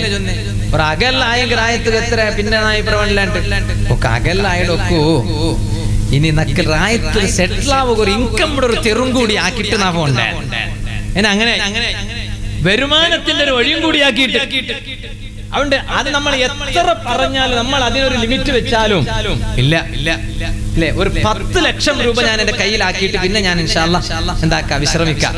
പത്ത് ലക്ഷം ആകുമ്പോഴാണ് ഇയാൾക്ക് തോന്നുന്നത് ഒരു അഞ്ചു ലക്ഷം കൂടി ആക്കണം. ഒരു പതിനഞ്ച് ഒരു അങ്ങനെ റൗണ്ട് ഫിഗർ ആക്കാം. ഇത് ഞാൻ പറഞ്ഞല്ലാന്ന്.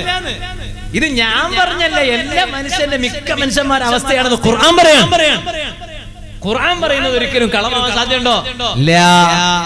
അതല്ലേ പരിശുദ്ധ ഖുർആനിൽ അല്ലാഹു തആല പറഞ്ഞത് ഖുൽ ലൗ അൻതും തംലികൂന ഖസാഇന റഹ്മത്തി റബ്ബി. ഇദല്ല അംസത്തും ഖശിയതൽ ഇൻഫാ നബിയേ തങ്ങളെ ജനങ്ങളോട് പറയണം. സമ്പത്ത് ശേഖരിച്ച് വെക്കുന്ന ജനങ്ങളില്ലയോ? ആ ജനങ്ങളോട് തങ്ങൾ പറയണം. ലൗ റബ്ബി. എന്റെ റബ്ബിന്റെ ഖജനാവുണ്ടല്ലോ.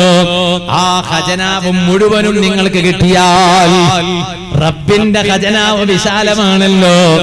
ആ ഖജനാവ് നല്ല എത്ര കൊടുത്താലും അത് തീരുന്നതല്ല. എന്റെ ഖജനാവിന് ഞാൻ കൊടുത്താൽ അത് തീർന്നേ തീർന്നേക്കൂ. റബ്ബിന്റെ ഖജനാവ് വിശാലമാണ്. ആ റബ്ബിന്റെ ഖജനാവിന് റബ്ബ് എത്ര കൊടുത്താലും അത് തീരൂല. ആ ഖജനാവ് മുഴുവനും നിങ്ങൾക്ക് കിട്ടിയാലും ഇതല്ല അംസത്തു നിങ്ങളത് മറ്റുള്ള ജനങ്ങൾക്ക് കൊടുത്ത് സഹായിക്കൂല. നിങ്ങൾ പള്ളിക്ക് കൊടുത്ത് സഹായിക്കൂല. നിങ്ങൾ മദ്രസക്ക് കൊടുത്തിട്ട് സഹായിക്കൂല. എന്തേ കാരണം? നിങ്ങൾ കൊടുത്താൽ പിന്നെ നിങ്ങൾക്കൊന്നും ഉണ്ടാകൂലാന്ന് നിങ്ങൾ പേടിക്കൂ. ശരിക്കും അത് തെറ്റിദ്ധാരണയാണ്. എത്ര കണ്ട് കൊടുക്കുന്നുണ്ടോ? അത്ര കണ്ട് വർധനമാണ്. എത്ര കണ്ട് കൊടുക്കാതിരിക്കുന്നുണ്ടോ? അത്ര കണ്ട് നാശനഷ്ടമാണ്. ഇത് ജനങ്ങൾ മനസ്സിലാക്കുന്നില്ല. അള്ളാന്റെ ഖജനാവെന്നും മുഴുവൻ കിട്ടിയാലോ ജനങ്ങൾ കൊടുക്കാൻ മടി കാണിക്കും. ജനങ്ങൾ അവിടുന്ന് പിടിച്ചു വെക്കും കൊടുക്കൂല. ഈ സമ്പത്ത് ചെലവഴിച്ചു പോകുമോ എന്ന് പേടിച്ചിട്ട് പിടിച്ചു വെക്കും. പരിശുദ്ധ ഖുർആനിൽ തആല പറഞ്ഞതാണ്. സുഹൃത്തുക്കളെ ഞാൻ പറഞ്ഞു വന്നത് എന്നാൽ സമ്പത്ത് വേണ്ട നല്ല സമ്പത്ത് വേണം.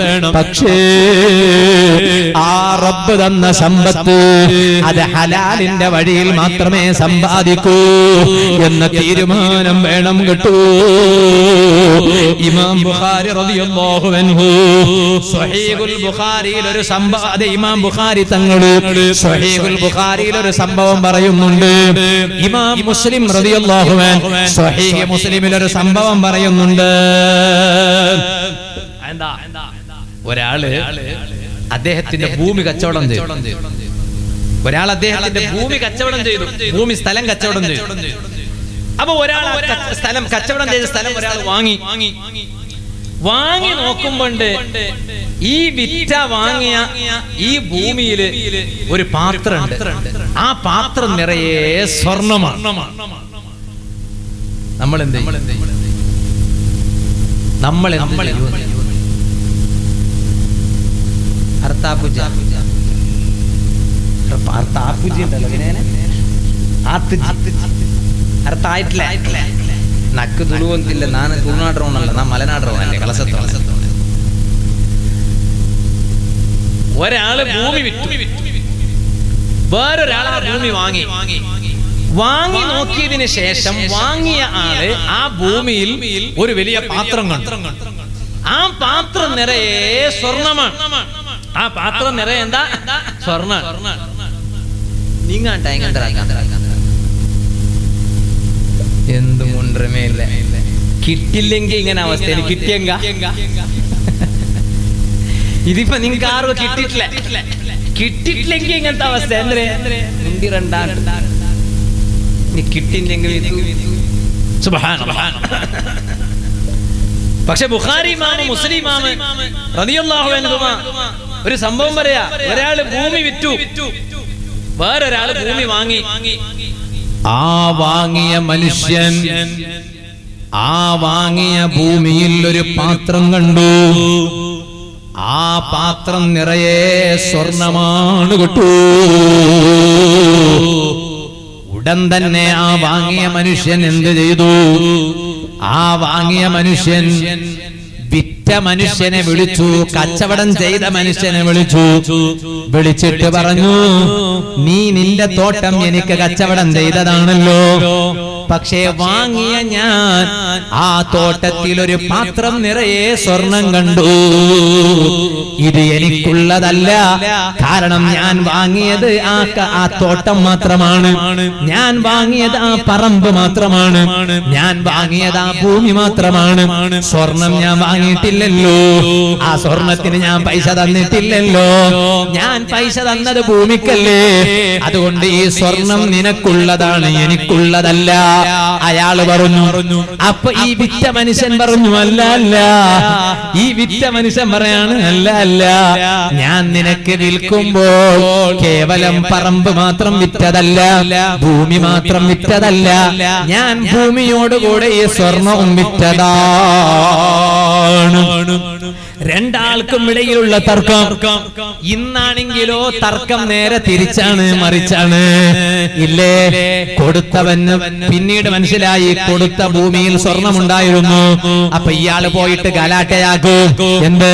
ഞാൻ നിനക്ക് ഭൂമി മാത്രം തന്നതാണ് സ്വർണം എന്റേതാണ്. അയാൾ പറയും അല്ലല്ല ഞാൻ സ്വർണം ഭൂമി ഒന്നിച്ചു വാങ്ങിയതാണ്. ഇന്ന് തർക്കം നേരെ തിരിച്ചാണ്. അന്ന് അങ്ങനെയല്ല ഓ ബാപ്പ അന്ന് സൂക്ഷ്മതയുടെ കാലമാണ്. ഇന്ന് അങ്ങനെയല്ലേ എത്ര എത്ര സ്ക്വയർ ഫീറ്റ് ഉള്ളിലേക്ക് കയറ്റാൻ പറ്റും? അത്രയും കയറ്റിയിട്ടാണ് കമ്പൗണ്ട് ഇടുന്നത്. ഇല്ലേ ജനങ്ങളെ? അതിന്റെ പേരിൽ ജ്യേഷ്ഠനും അനുജനും തമ്മിൽ പ്രശ്നമാണ്. എന്റെ അടുത്ത് ഈ അടുത്തൊരു കംപ്ലൈന്റ് വന്നു. ഒരു ഒരു ഒരു ഒരു ചർച്ചയ്ക്ക് വിജയമായി പരിഹാരത്തിന് ഒരാൾ വന്നു. നോക്കുമ്പോഴെന്താണ്? ബാപ്പയും ബാപ്പാന്റെ അനുജനും ജ്യേഷ്ഠനും എല്ലാം വലിയ പ്രശ്നത്തിനാണ്. ഒരൊറ്റ ബാപ്പാന്റെ മക്കൾ വലിയ പ്രശ്നത്തിനാണ്. എന്തിന്റെ പേരിലാ പ്രശ്നം? സ്ഥലത്തിന്റെ പേരിലാ പ്രശ്നം. അപ്പൊ എന്താണ് വിഷയം? വിഷയം? ബാപ്പാന്റെ അനുജനുണ്ടല്ലോ. അനുജൻ വെല്ലുപ്പാന്റെ എല്ലാ സ്വത്തും അയാളെ പേരിലാക്കി എടുത്തിരിക്കുന്നു. വെല്ലുപ്പാന്റെ മറ്റു മക്കൾക്ക് ഒരൊറ്റ സ്ഥലവുമില്ല ഭൂമിയുമില്ല. അപ്പൊ അതിന്റെ മസാല ചോദിക്കാൻ വേണ്ടിയാ എന്റെ അടുത്ത് വന്നത്. അതിനൊരു പരിഹാരം ചോദിക്കാനാ എന്റെ അടുത്തേക്ക് വന്നത്. ഇരിക്കട്ടെ ഞാൻ പറഞ്ഞു. നണ്ടമുട്ട ആരെങ്കിലും വന്നെങ്കിൽ ഞാൻ അപ്പ അങ്കുള്ളൊരു പറയും. വേഗം നണ്ടിട്ട് നല്ലൊരു ഉത്തരവുണ്ട്. നല്ലൊരു ഉത്തര. ഇനിയിപ്പോ നിങ്ങൾ വന്നെങ്കിൽ അതേ ഉത്തര. ഫസ്റ്റ് ചോദിക്കണം നിങ്ങളെ കാളിയാർ ആരാൻ ചോദിക്കാൻ നിങ്ങളെ കാളിയാർ അപ്പൊ ഇന്ന. കാളിയാർ സമൂഹം. അങ്ങനെയാണ്. അങ്ങനെ വിവാദ വിഷയങ്ങൾ വരുമ്പോ അങ്ങനെയല്ലേ അതേ സമയത്ത് ഒരാൾ വന്നൊരു മസല ചോദിക്കുക മസല നമുക്ക് പറഞ്ഞു കൊടുക്കാം. മസാല നമുക്ക് പറഞ്ഞു ഈ അടുത്ത് ഒരു മനുഷ്യൻ വിളിച്ചു സ്ഥലത്തിന്റെ പേര് ഞാൻ പറയില്ല ഭയങ്കര വലിയ വിഷയമാണ്. അതൊന്നും മൈക്കും കൂടെ പറയേണ്ട വിഷയമൊന്നുമല്ല. വലിയ വിഷയം. തന്റെ ഭാര്യയെ കുറിച്ചുള്ള ഒരു പരാതിയാ. ഭാര്യയെ കുറിച്ച് ഒരു പരാതി. നോക്കുമ്പോ എന്താ പരാതി? അന്യ ആണിനോട് ബന്ധമല്ല. അന്യ ആണിനോട് അവിഹിത ബന്ധമല്ല. അന്യ പെണ്ണിനോട് അവിഹിത ബന്ധമാണ് ആരാ ഭാര്യ? ജലാലു അപ്പൊ മസാല ഞാൻ പറഞ്ഞു കൊടുത്തിട്ട് പറഞ്ഞു. ഇനിയിപ്പോ നിങ്ങൾ ദാമ്പത്യ ജീവിതത്തിന്റെ കാര്യങ്ങൾ എന്താക്ക കാലിയാരുടെ അടുത്ത് പോയി തീരുമാനിക്കുക. ഞാൻ പറഞ്ഞു വന്നത് സുഹാന ജലജലാലു നമ്മൾ മസാല പറഞ്ഞു കൊടുക്കാൻ എളുപ്പാ. പക്ഷെ ഈ വിവാദങ്ങൾക്ക് പരിഹാരം പറഞ്ഞു കൊടുക്കാൻ അത് അത് അത് അതാത് സ്ഥലത്തിന് നേതൃത്വം ചെയ്യേണ്ടത് അപ്പൊ ഇങ്ങനെ ഒരു വലിയ വിഷയം വന്നു. അപ്പോൾ ഈ വിഷയത്തിനൊരു പരിഹാരം ഈ രണ്ട് പേരും ചെന്നു എവിടത്തേക്കാ പോകുന്നത്? സുബാനല്ലോ അതേ ഒരാളുടെ അരികിലേക്ക് ഇതിനൊരു പരിഹാരത്തിന് വന്നു. ആ ആളുടെ അരികിൽ വന്നു. പരിഹാരം പറഞ്ഞു കൊടുക്കുകയാണ്. എന്താ പരിഹാരാന്നറിയോ? ഒന്നാമത്തെ ചോദ്യം നിങ്ങൾക്ക് മക്കളുണ്ടോ? ഈ ഭൂമി വിറ്റയാളോടും ആ ഭൂമി വാങ്ങിയ ആളോടും ഈ പരിഹാരം പറഞ്ഞു കൊടുക്കുന്ന ആൾ ചോദിക്കുകയാണ് അലക്കുമാ വലത് നിങ്ങൾക്ക് രണ്ടാൾക്ക് മക്കളുണ്ടോ? അപ്പോഴാണ് ഇവർ പറയുന്നു ഒരാൾ പറഞ്ഞു അതെ ലീ ഗുലാം എനിക്ക് ആൺകുട്ടിയുണ്ട്. മറ്റേയാൾ പറഞ്ഞു ലീ അൽ ജാരിയ എനിക്ക് പെൺകുട്ടിയുണ്ട്. അപ്പൊ ഈ പരിഹാരം പറഞ്ഞു കൊടുക്കുന്ന ആളെന്താ പറഞ്ഞറിയോ? ഈ വിഷയം അവിടെ ഇരിക്കട്ടെ നമുക്കിതിന് പരിഹാരം പറയാം. നിങ്ങൾ ഇനി നിങ്ങളെ രണ്ട് മക്കളില്ലേ? നിങ്ങളെ മകനും നിങ്ങളെ മകൾക്കും. നിങ്ങളെ മകന് നിങ്ങൾ വേറെ ഒരു പെണ്ണിനെ തേടി പോകണ്ട. നിങ്ങളെ മകൾക്ക് വേറെ ഒരു പുതിയ ആപ്പിളിനെ തേടി പോകണ്ട. നിങ്ങളെ മക്കളെ അങ്ങോട്ടും ഇങ്ങോട്ടും കല്യാണം ചെയ്തു കൊടുത്തോളൂ. കാരണം എന്താ നല്ല ഹലാലായതിലൂടെ വളർന്ന മക്കളായിരിക്കും അവർ. എന്തേ കാരണം? അവരുടെ ഉപ്പമാര് നല്ല സൂക്ഷ്മതയിലുള്ളവരാണല്ലോ. അതുകൊണ്ട് ഈ ആൺകുട്ടിയും പെൺകുട്ടിയും ഹലാലിൽ മാത്രം വളർന്നവരായിരിക്കും. ചെറുപ്പക്കാരെ കല്യാണം കഴിക്കുമ്പോ ഏതെങ്കിലും ഒരു ഫേഷനുള്ള പെണ്ണിനെ നോക്കിയിട്ടല്ലടാ നീ കല്യാണം കഴിക്കേണ്ടത്. എന്തേ കാരണം? കല്യാണം എന്നത് ഒന്ന് രണ്ട് ദിവസത്തേക്കുള്ളതല്ല.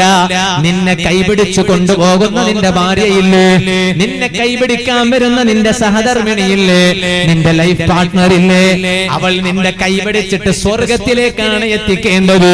അവൾ നിന്റെ കൈപിടിച്ച് നരകത്തിലേക്കല്ല എത്തിക്കേണ്ടത്. അതുകൊണ്ട് നീ കല്യാണം കഴിക്കാൻ പോകുമ്പോ ഏതെങ്കിലും ഒരു പെണ്ണിന്റെ സൗന്ദര്യം നോക്കിയിട്ടല്ല കല്യാണം കഴിക്കേണ്ടത്. ദീനുള്ള പെണ്ണാണോ? ആ പെണ്ണിനെ നോക്കിയിട്ട് കല്യാണം കഴിക്കണോ? ഇരിക്കട്ടെ എന്റെ വിഷയം അതല്ല. ഞാൻ ഇപ്പോൾ ഇതിലേക്ക് കടക്കുന്നില്ല. ഞാൻ പറഞ്ഞ വിഷയത്തിലേക്ക് തന്നെ മടങ്ങുകയാണ്. ഞാൻ പറഞ്ഞ വിഷയം മറക്കരുത്. സമ്പാദ്യം ഹലാലാകണോ? ഹലാലായ സമ്പാദ്യത്തിലൂടെയാണ് നമ്മൾ ജീവിക്കേണ്ടത്. ആ രൂപത്തിൽ ജീവിച്ചാലോ നമ്മുടെ കൽബ് നന്നാകൂ. അതാണ് താജുല്ലുലമാ തങ്ങൾ ഉപ്പാപ്പ ദ്വാർക്കാൻ പറഞ്ഞിരുന്നത്. എന്താ പറഞ്ഞത്? കൽബ് പ്രകാശിച്ചിട്ട് മരിക്കണം. അതൊരു ചെറിയ വിഷയമല്ല. കൽബ് പ്രകാശിച്ചാൽ മുഖം പ്രകാശിക്കൂ. കൽബ് കറുത്തിരുണ്ടു പോയാൽ ആ കറുത്തിരുണ്ടു പോയ കൽബിന്റെ ലക്ഷണം മുഖത്ത് വെളിവാകും കിട്ടൂ. അതുകൊണ്ടല്ലേ പണ്ഡിതന്മാര് പറഞ്ഞത്? ചില ആളുകളെ മുഖത്തേക്ക് നോക്കുമ്പോ നമുക്ക് വലിയ ബഹുമാനം തോന്നും. എന്തേ കാരണം? അയാളെ മുഖത്തിന്റെ പവറല്ല അത്. അയാളെ കൽബിന്റെ പവറാണ് അയാളെ കൽബ് നല്ല ശുദ്ധമായ കൽബാണ്. ശുദ്ധമായ കൽബായപ്പോ മുഖം നന്നായി പോയി. അതുകൊണ്ടല്ലേ ചില ആളുകൾ മുഖത്തേക്ക് നോക്കിയാൽ ഹിതായത്ത് കിട്ടിപ്പോയി. നോക്കിയവന് ഹിതായത്ത് കിട്ടിപ്പോയി. സുബ്ഹാനല്ലാ മഹ്മൂദ് സുൽത്താൻ മഹ്മൂദുൽ ഗസ്നവി എന്ന് പറയുന്ന ഒരാളുണ്ടായിരുന്നു അയാൾ ഒരിക്കൽ അയാളെ നാട്ടിൽ വലിയൊരു ഷെയ്ഖുണ്ട്. ആ ഷെയ്ഖിന്റെ അടുത്ത് വന്നിട്ട് ഒരാളെ കുറിച്ച് അഭിപ്രായം ചോദിക്കുകയാണ്.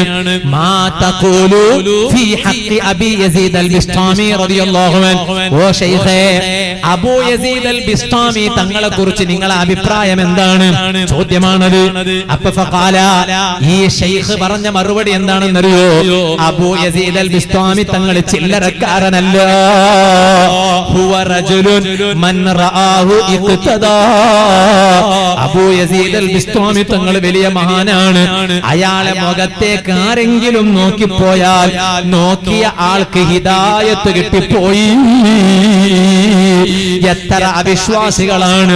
മഹാന്മാരെ മുഖത്തേക്ക് നോക്കിയപ്പോ ഷഹാദത്ത് കലിമ ചൊല്ലിയിട്ട് ഇസ്ലാമിലേക്ക് വന്നത് ആ മഹാന്മാരെ മണിക്കൂറുകളോളം നീണ്ട ബാധ കേട്ടിട്ടില്ല. മുഖം നോക്കിയതേ ഉള്ളൂ. എന്റെ കാരണം?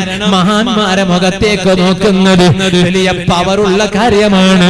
ഇബാദത്തുള്ള കാര്യമാണ്.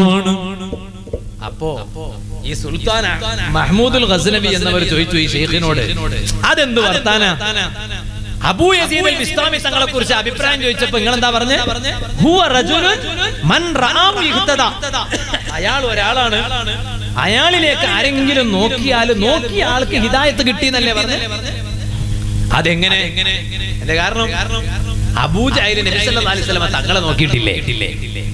അങ്ങനെ ഒരാളെ മുഖത്തേക്ക് നോക്കിയാൽ ഇബാദത്ത് പിന്നെ നന്നാകണമെങ്കിൽ ഹിദായത്ത് കിട്ടണമെങ്കിൽ നബി സല്ലല്ലാഹു അലൈഹി വസല്ലം തങ്ങളെ മുഖത്തേക്ക് നോക്കി അബൂജാലിന് ഹിദായത്ത് കിട്ടണ്ടേ? പക്ഷെ അബൂജാഹിലിന് ഹിദായത്ത് കിട്ടിയിട്ടില്ലല്ലോ. അബൂജാലി തങ്ങളെ മുഖത്തേക്ക് നോക്കിയതിന് കഴിയും കണക്കൂല്ല എന്നിട്ട് എന്താ ഹിദായത്ത് കിട്ടാത്തത്? അപ്പ മഹമൂദുൽ ഹസ്നബി എന്നവരോട് ഈ ഷെയ്ഖ് പറയാണ് ഓ സുൽത്താനേ അബൂജഹൽ നബി സല്ലല്ലാഹു അലൈഹി വസല്ലമ തങ്ങളെ കണ്ടിട്ടില്ല. ബൽ ഇന്നമാ മുഹമ്മദ് താലിബ് അബൂ താലിബ് എന്നവർ വളർത്തിയ യതീം കുട്ടിയായ അബ്ദുള്ള എന്നവരുടെ മകനായ മുഹമ്മദിനെയാണ് സല്ലല്ലാഹു അലൈഹി വസല്ലം കണ്ടത്. റസൂലായ നബിയായ വലിയ മഹത്വമുള്ള റസൂലുള്ളാഹി സല്ലല്ലാഹു അലൈഹി വസല്ലമ തങ്ങളെ തങ്ങളാണെന്ന രൂപത്തിൽ ബഹുമാനമുള്ള രൂപത്തിൽ അബൂജഹൽ തങ്ങളെ മുഖത്തേക്ക് നോക്കിയിട്ടില്ലോ. അങ്ങനെ നോക്കിയിരുന്നെങ്കിലോ ഹിതായത്ത് കിട്ടുമായിരുന്നു അങ്ങനെ നോക്കിയിട്ടില്ല. ഒരു സാധാരണ മുഹമ്മദ് വസല്ലം എന്ന രൂപത്തിലാ നോക്കിയത്. നിങ്ങളൊന്ന് ആലോചിച്ച് നോക്ക്. അപ്പൊ മഹാന്മാരെ മുഖത്ത് ഈ തെളിച്ചം കിട്ടിയത് എവിടെ നിന്നാണ് കൽബിൽ വന്ന ഈമാനാണ്. ആ ഈമാന് മുഖത്ത് പ്രകടമായി പോയി. ആ മഹാന്മാരെ ആ പിന്തുടർന്ന് ജീവിക്കേണ്ടത് അതുകൊണ്ടല്ലേ അഹമ്മദ് ഹംബൽ റളിയല്ലാഹു വലിയ മഹാനാണ്. ആ മഹാൻ അവരുടെ ക്ലാസ്സിൽ എത്രയോ ആളുകൾ ഒരുമിച്ച് കൂടും. എത്രയാണെന്നറിയോ? അതേ സുഹാബു ഹംസത്തി. അയ്യായിരം ആളുകൾ. അയ്യായിരം ആളുകളാണ് അഹമ്മദ് ബിൻ ഹംബൽ തങ്ങളെ വാദിന്റെ സദസ്സിൽ വരിക.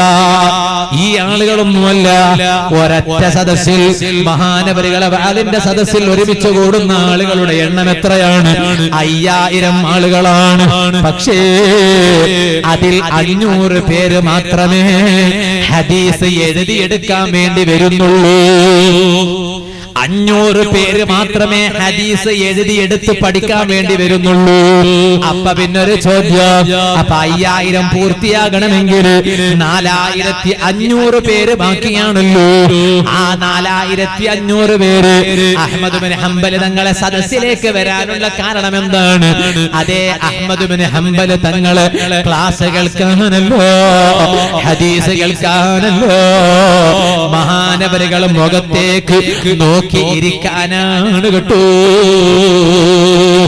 മഹാനവരുകളെ മുഖത്തേക്ക് നോക്കി ഇരിക്കാനാണ്. എന്തേ കാരണം? ആ മുഖത്തേക്ക് നോക്കുന്നത് ഇബാദത്താണ് കേട്ടോ. മുഖത്തേക്ക് നോക്കിയാൽ കൽബ് നന്നാക്കി എടുക്കാൻ പറ്റും കേട്ടോ. ഇങ്ങനെ എത്ര എത്ര സംഭവങ്ങളാണ്. അത് മഹാന്മാരെ മുഖത്തേക്ക് കിട്ടിയ പവറാണത്. ഇനി നേരെ തിരിച്ചുമുണ്ട്. തെറ്റ് ചെയ്ത് ജീവിക്കുന്ന ജനങ്ങളില്ലേ? ആ തെറ്റ് ചെറുപ്പക്കാരാ ഒരു തെറ്റ് ചെയ്താൽ കൽബിൽ ഒരു ഡോട്ട് വീണുപോയി. അങ്ങനെ എത്രയാണോ തെറ്റുകൾ ചെയ്യുന്നത്? ആ ചെയ്യുന്ന എണ്ണത്തിന്റെ തോതനുസരിച്ച് ഹൃദയത്തിൽ ഡോട്ടുകൾ വീണുപോയി. ഹൃദയം മുഴുവനും കറുത്തിരുണ്ടുപോയി. പിന്നെ ഹൃദയത്തിൽ സീൽ വെച്ചുപോയി പിന്നെ വാല കേൾക്കാൻ തോന്നൂല. നന്നാകണമെന്ന് തോന്നൂല. അങ്ങനെ ഹൃദയം കറുത്തിരുണ്ടുപോയാൽ ചിലപ്പോൾ നിന്റെ മുഖം വെളുത്ത നിറമുള്ള മുഖമാണെങ്കിലും നിന്റെ മുഖത്ത് തീരെ ഈമാനിന്റെ വെളിച്ചമേ ഇല്ല. തെറ്റ് ചെയ്ത് നിന്റെ മുഖം കേടായതാണ് കേട്ടോ. അതാണ് പണ്ഡിതന്മാര് പറഞ്ഞത്. തെറ്റ് ചെയ്യുന്നവരെ മുഖത്തേക്ക് നോക്കിയിട്ട് മഹാന്മാർക്ക് പറയാൻ കഴിയും. നീ തെറ്റ് ചെയ്തിട്ടാണ് എന്റെ സദസ്സിലേക്ക് വന്നതെന്ന് പറയാൻ കഴിയും. എന്തേ കാരണം? കൽബ് കേടായി കേടായി. ആ കേടായത് മുഖത്തിൽ പ്രതിഫലം ചെയ്തു. മഹാന്മാരെ പിന്തുടർന്ന് ജീവിക്കണം. ആ മഹാന്മാരെ അനുകരിച്ച് ജീവിക്കണം. ഞാൻ എന്റെ സംസാരം ചുരുക്കുകയാണ്.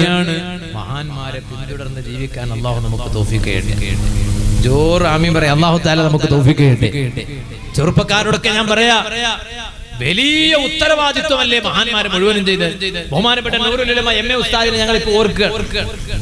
എം എ ഉസ്താദ് വഫാത്തായിട്ട് വർഷങ്ങൾ പിന്നിട്ടു. എന്റെ ഓർക്കാൻ കാരണം. ഈ വരുന്ന ഡിസംബർ നാലാം തീയതി ജാമിയ സൈദി അറബിയുടെ സഹിതദാന സമ്മേളനം എല്ലാവരും അവിടെ എത്തണമെന്ന് സാന്ദർഭികമായി ഓർമ്മപ്പെടുത്തും അപ്പോ എം എ ഉസ്താദിനെ ബഹുമാനിക്കുന്നു എന്റെ കാരണം? എം എ ഉസ്താദിന്റെ ആയുസ് മുഴുവനും അള്ളാഹുവിന്റെ ദീനിന് വേണ്ടി ചെലവഴിച്ചു. ചെലവഴിച്ചു. ഒരു മിനിറ്റ് പോലും ഒരു മിനിറ്റ് പോലും എം എ ഉസ്താദിന്റെ ജീവിതത്തിൽ വെറുതെ നഷ്ടപ്പെട്ടിട്ടില്ല. ചെറുപ്പക്കാരോട് ഞാൻ ചോദിക്കട്ടെ നമ്മൾ ഒരു ദിവസത്തിൽ എത്ര മണിക്കൂറാ നഷ്ടം? നഷ്ടം നഷ്ടം.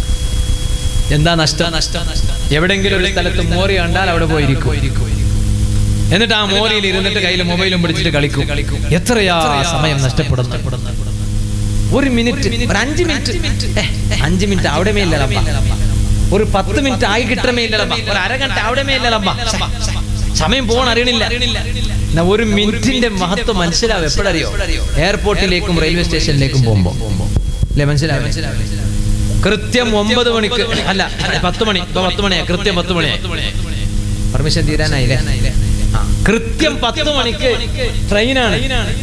ആ പത്ത് മണിയുടെ ട്രെയിനിൽ കയറണം എന്നാൽ ഒമ്പത് ഒമ്പത് അമ്പത്തി എട്ടായി ഇവൻ ഇപ്പോഴും എവിടെ ഉള്ളത്? നന്തൂറിലെ എത്തിയോ? ഓനിപ്പോ നന്തൂറിൽ തിരിഞ്ഞോണ്ടുള്ള ഓൻ ഇനിയിപ്പോ രണ്ട് മിനിറ്റ് കൊണ്ട് എവിടെ എത്തണോ? റെയിൽവേ സ്റ്റേഷനിലേക്ക് എത്തണോ? Central railway station. അപ്പൊ ഇവനിങ്ങനെ. അപ്പൊ മിനിറ്റിനല്ല മഹത്വം സെക്കൻഡിന് മഹത്വം. സെക്കൻഡല്ലേ അല്ലെങ്കിൽ ഈ ചെറിയ ഈ ആ സ്പീഡിൽ തിരുന്ന മുള്ളില്ലേ? ആ മുള്ളുക്ക് ബലമേയില്ലേ? ആ മുള്ള വില കിട്ടിയപ്പോ കൊണ്ടുണ്ട ഇങ്ങനത്തെ ഒരു ടൈമിലു മെയ്ക്കാലത്തെ റെയിൽവേ സ്റ്റേഷനിൽ പോകുമ്പോ ആ മുള്ളുക്ക് വില കിട്ടും. അപ്പൊ ഒരു മിനിറ്റുകല്ല അര സെക്കൻഡ് മഹത്വം. പക്ഷേ ഇങ്ങനെയുള്ള എത്ര മിനിറ്റുകളാണ് എത്ര സെക്കൻഡുകളാണ് കരളിന്റെ കഷ്ണങ്ങളായ ചെറുപ്പക്കാരെ നമ്മുടെ ജീവിതത്തിൽ നഷ്ടപ്പെട്ടു പോയത് ഈ ജാരികബയിൽ ഈ സ്ഥലത്ത് എന്റെ വാല കേട്ടുകൊണ്ടിരിക്കുന്ന ഈമാനുള്ള സഹോദരിമാരെ നമ്മുടെ ജീവിതത്തിൽ എത്ര മണിക്കൂറുകളാണ് വെറുതെ ചെലവഴിച്ചു പോയത്? നാളെ റബ്ബിന്റെ കോടതിയിൽ എത്തിയാൽ ആയുഷിനെ കുറിച്ച് ചോദിച്ചതിന് ശേഷം രണ്ടാമത്തെ ചോദ്യം തന്നെ നിന്റെ യുവത്വം നീ എന്ത് ചെയ്തു? അതിന് വലിയ ഉത്തരവാദിത്വമുണ്ട്. ആ ഉത്തരവാദിത്വ ദൗത്യം നിർവഹിക്കണം. അള്ളാഹുവിന്റെ ദീനിനു വേണ്ടി ഹൃദമത്ത് നിൽക്കണം. പള്ളിക്ക് വേണ്ടി ഹൃദമത്തെടുക്കണം പള്ളിയുടെ ജമാഅത്ത് നിസ്കാരത്തിന് വരണം. അനുസ്മരണ ചടങ്ങിൽ വന്ന് കൂടിപ്പോയത് കൊണ്ടായില്ല. അനുസ്മരണ ചടങ്ങിൽ വന്ന മുഴുവൻ ചെറുപ്പക്കാരോട് ഞാൻ ചോദിക്കട്ടെ? നിന്റെ വീട്ടിന്റെ തൊട്ടടുത്തുള്ള പള്ളിയിലെ സുബഹി ജമാഅത്തിന് നീ എത്തുന്നവനാണോ? അല്ല എന്നാണോ മറുപടി? താജുല്ലുലമാനെ അനുസ്മരിച്ചിട്ട് എന്ത് കാര്യം മോനെ? എം എ ഉസ്താദിനെ അനുസ്മരിച്ചിട്ട് എന്താ കാര്യോ? ഇത്രയെല്ലാം തിരക്കുകൾക്കിടയിലും അവർ സുബഹി ജമയത്തിന് പള്ളിയിലെത്തിപ്പോയി അറിയില്ലേ? ഇന്ന് ഏറ്റവും വലിയ തിരക്കിട്ട നേതാവാരാണ് നമ്മളൊക്കെ തിരക്ക് തിരക്ക് തിരക്ക് എന്ന് പറയാണ്. എന്ത് തിരക്ക്? എന്ത് തിരക്ക് നമുക്ക്? നമുക്ക് തിരക്ക് എങ്ങനെയാ? നമുക്കൊരു ദിവസം ആറ് മണിക്കൂർ ഉറങ്ങണം. ആറ് മണിക്കൂർ ഉറങ്ങണം. ആ ഉറങ്ങുന്ന സമയം കൂട്ടിയിട്ടാണ് നമ്മൾ തിരക്ക് പറയുന്നത്. എന്നാൽ ഒരു ഉറക്കുകൾ മുഴുവനും വാഹനത്തിൽ മാത്രം ഉറങ്ങാറുള്ള ഇനി അതല്ലെങ്കിൽ അഥവാ റൂമിൽ ഉറങ്ങുകയാണെങ്കിൽ ഒരു ചെറിയ സമയം മാത്രമേ ജീവിതത്തിനിടയിൽ ഓരോ ദിവസവും ഉറങ്ങാൻ അവസരം കിട്ടുന്ന ഇന്ന് ജീവിച്ചിരിപ്പുള്ള പണ്ഡിതന്മാരെ കൂട്ടത്തിൽ അള്ളാഹു താല ഒരുപാട് ദീനിന് വേണ്ടി ഹൃദമത്തെടുക്കാനുള്ള അല്ല തൗഫീഖ് നൽകിയ ഈ ഉമ്മത്തിന്റെ നന്മക്ക് വേണ്ടിയും ഉന്നമനത്തിന് വേണ്ടിയും ഒരുപാട് പ്രവർത്തിക്കാനും പ്രവർത്തനങ്ങൾക്ക് നേതൃത്വം നൽകാൻ അല്ല വലിയ ബഹുമാനം നൽകിയ അല്ല വലിയ അവസരം നൽകിയ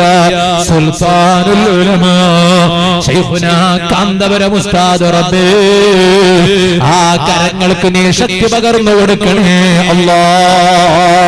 ഉസ്താദിന്റെ വലിയ സ്വപ്നമായിരുന്ന നോളേജ് സിറ്റി ഇന്ന് നിങ്ങൾക്കറിയോ ഏറ്റവും കൂടുതൽ ആളുകൾ പോകുന്നത് നോളേജ് സിറ്റി കാണാനാണ്. അതിൽ ഉസ്താദിനെ അംഗീകരിക്കുന്നവർ മാത്രമല്ല ഉസ്താദിന്റെ നേതൃത്വത്തെ അംഗീകരിക്കാത്തവർ പോലും നോലേജ് സിറ്റി കാണാൻ പോവാണ്. മുസ്ലിമീങ്ങൾ മാത്രമല്ല എത്ര അമുസ്ലിമീങ്ങളെ കൂട്ടത്തിൽ പ്രൊഫഷണൽ പേഴ്സണാലിറ്റി ഉള്ള ആളുകളാണ്. നോലേജ് സിറ്റി കാണാൻ വേണ്ടി സമയം കണ്ടെത്തുന്നത് എന്തേ കാരണം? അതൊരു അത്ഭുതമാണ്. അതവിടെ പോയി നോക്കുമ്പോഴാ മനസ്സിലാകണത് റബ്ബേ. ഇതൊക്കെ ഇവിടെ ചെയ്തു വെച്ചത് ഒരു തലേകെട്ട് കെട്ടിയ പണ്ഡിതനാണോ?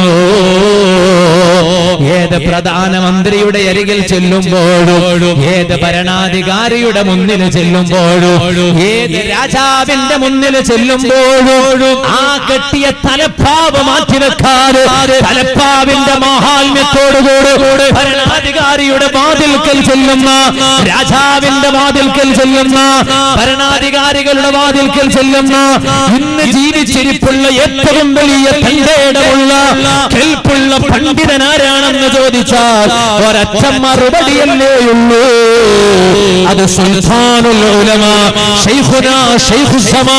ഈ കാലഘട്ടത്തിന്റെ ഇതിഹാസ സുൽത്താനുൽ റബ്ബേ. ആ കരങ്ങൾക്ക് നീ ശക്തി പകർന്നു കൊടുക്കണേ അല്ലാ ആ ഉസ്താദല്ലേ ഇന്ന് ലോകത്ത് ഏറ്റവും തിരക്കിട്ട മനുഷ്യൻ.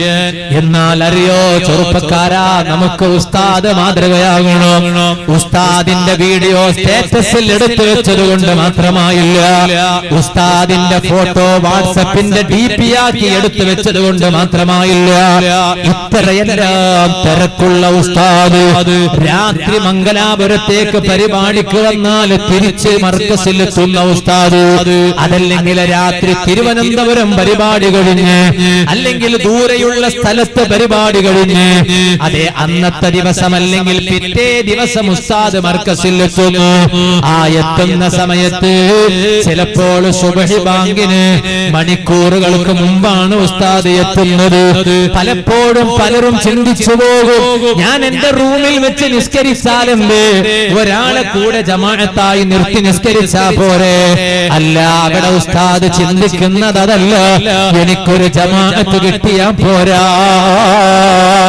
പുരുഷന്മാർക്ക് നിസ്കരിക്കാൻ പുരുഷന്മാർക്ക് ജമാഅത്തായി നിസ്കരിക്കാൻ ഏറ്റവും ഉത്തമമായ സ്ഥലം പള്ളിയാണല്ലോ. ആ മർക്കസിന്റെ മുറ്റത്തുള്ള മസ്ജിദുൽ ഹാമിലി എന്ന മനോഹരമായ പ്രതിശാലമാണ് നീണ്ടു കിടക്കുന്ന പള്ളി. ആ പള്ളിയുടെ സുബഹി ജമാഅത്തിന് ഉസ്താദ് എത്തിപ്പോയി. ചെറുപ്പക്കാരാ. അത്രയൊന്നും തിരക്കില്ലാത്ത നമുക്കെന്ത് സുബഹി പള്ളിയിലെത്തിക്കൂടേ. അതുകൊണ്ട് മഹാന്മാരെ അനുസ്മരിച്ച ഈ സദസ്സിൽ നിന്ന് പിരിഞ്ഞു പോകുമ്പോ ഒരു തീരുമാനമെടുത്തു. ഒരൊറ്റ തീരുമാനമേ ഉള്ളൂ. എന്റെ തീരുമാനം? ഉസ്താദേ ഇനി ഞാൻ എന്റെ സുബഹി ജമാഅത്ത് നഷ്ടപ്പെടുത്തൂല. ഒരൊറ്റ ജമാഅത്ത് നിസ്കാരവും നഷ്ടപ്പെടുത്തൂല. റബ്ബേ സാധുക്കളായ നമുക്കതിനെ തൗഫീഖ് ചെയ്യണേ അല്ലാ അങ്ങനെ മഹാന്മാരെ പിന്തുടർന്ന് ജീവിച്ചാൽ ആ മഹാന്മാരെ കൂടെ നമുക്ക് സ്വർഗത്തിലെത്താൻ കഴിയും. ആ മഹാന്മാരൊന്ന് തിരിഞ്ഞു നോക്കുമ്പോഴോ യൗമയുനദായുനാദി കുല്ല ഉനാസിൻ ബിഇമാമിഹി. എല്ലാ ജനങ്ങളെ അവരുടെ നേതാവിന്റെ പേര് വിളിച്ചു പറയുന്നു. ആ നേതാക്കളെ പിന്നിൽ ഞങ്ങൾ സ്വർഗത്തിലേക്ക് പോകാൻ കഴിയണം. അവരൊന്ന് റബ്ബിന്റെ കോടതിയിൽ തിരിഞ്ഞു നോക്കുമ്പോ നമ്മളെ പരിചയം കിട്ടണം. അതിനർഹമുറാഹിമായ റബ്ബ് സാധുക്കളായ നമുക്ക് തൗഫീഖ് ചെയ്യട്ടെ. ഈ സദസ് റബ്ബതിനെ കാരണമാക്കി തരട്ടെ. മഹാന്മാരെ പൂർണമായും പിന്തുടർന്ന് ജീവിക്കാൻ. അള്ളാഹുവേ സാധുക്കളായ നമുക്ക് തൗഫീഖ് ചെയ്യണേ. അല്ലാ. ഞാൻ എന്റെ സംസാരം നിർത്തുന്നു. ഉമ്മമാര് സഹോദരിമാർ. ഒരുപാട് ഉമ്മമാര് സഹോദരിമാര് ഈ സദസ്സിലുണ്ട്.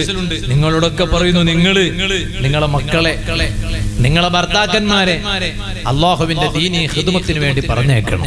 ഞാൻ നിർത്ത അള്ളാഹിന്റെ ദീനി ഹൃദമത്തിന് വേണ്ടി പറഞ്ഞേക്കണം. ചില സ്ത്രീകളുണ്ട്.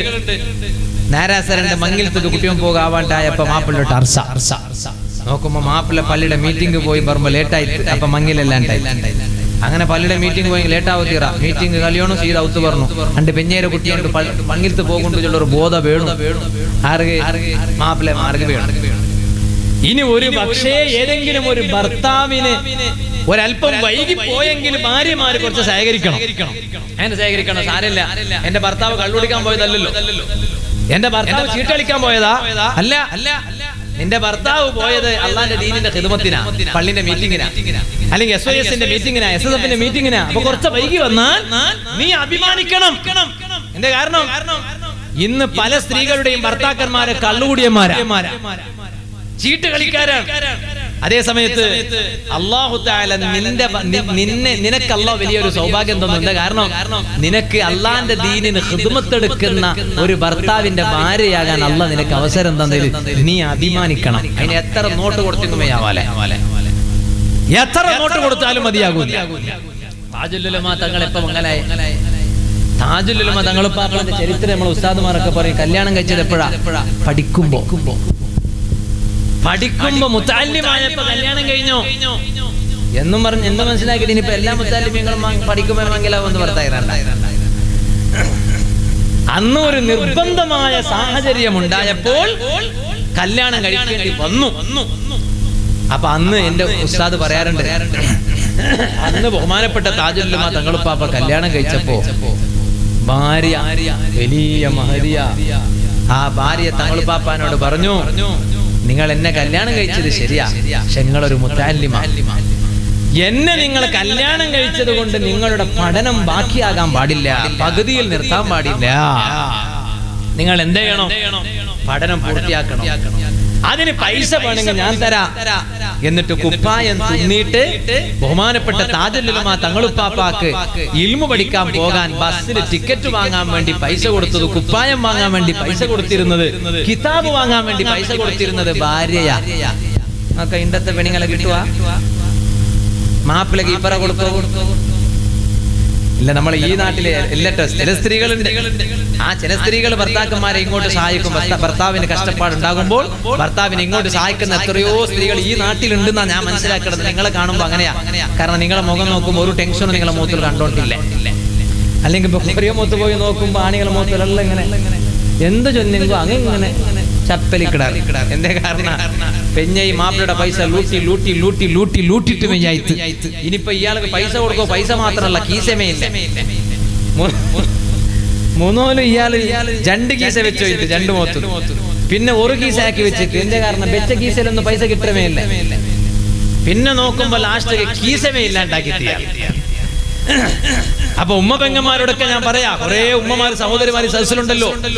നിങ്ങളെ ഭർത്താക്കന്മാർ അള്ളാന്റെ ദീനിന് വേണ്ടി കുതുമത്തെടുക്കുമ്പോൾ നിങ്ങൾ അതിന്റെ പേരിൽ സന്തോഷിക്കണം. താജുല്ലുലമാ തങ്ങൾ പാപ്പാന്റെ ഭാര്യ അങ്ങനെയായിരുന്നു എന്റെ ഉസ്താദ് പലപ്പോഴും പറയും. അപ്പൊ ആ രൂപത്തിൽ നല്ല കുടുംബ ജീവിതം നയിച്ച് ഈ കുടുംബത്തോടൊപ്പം നമുക്ക് സ്വർഗത്തിൽ ഒരുമിച്ച് കൂടാൻ കഴിയണം.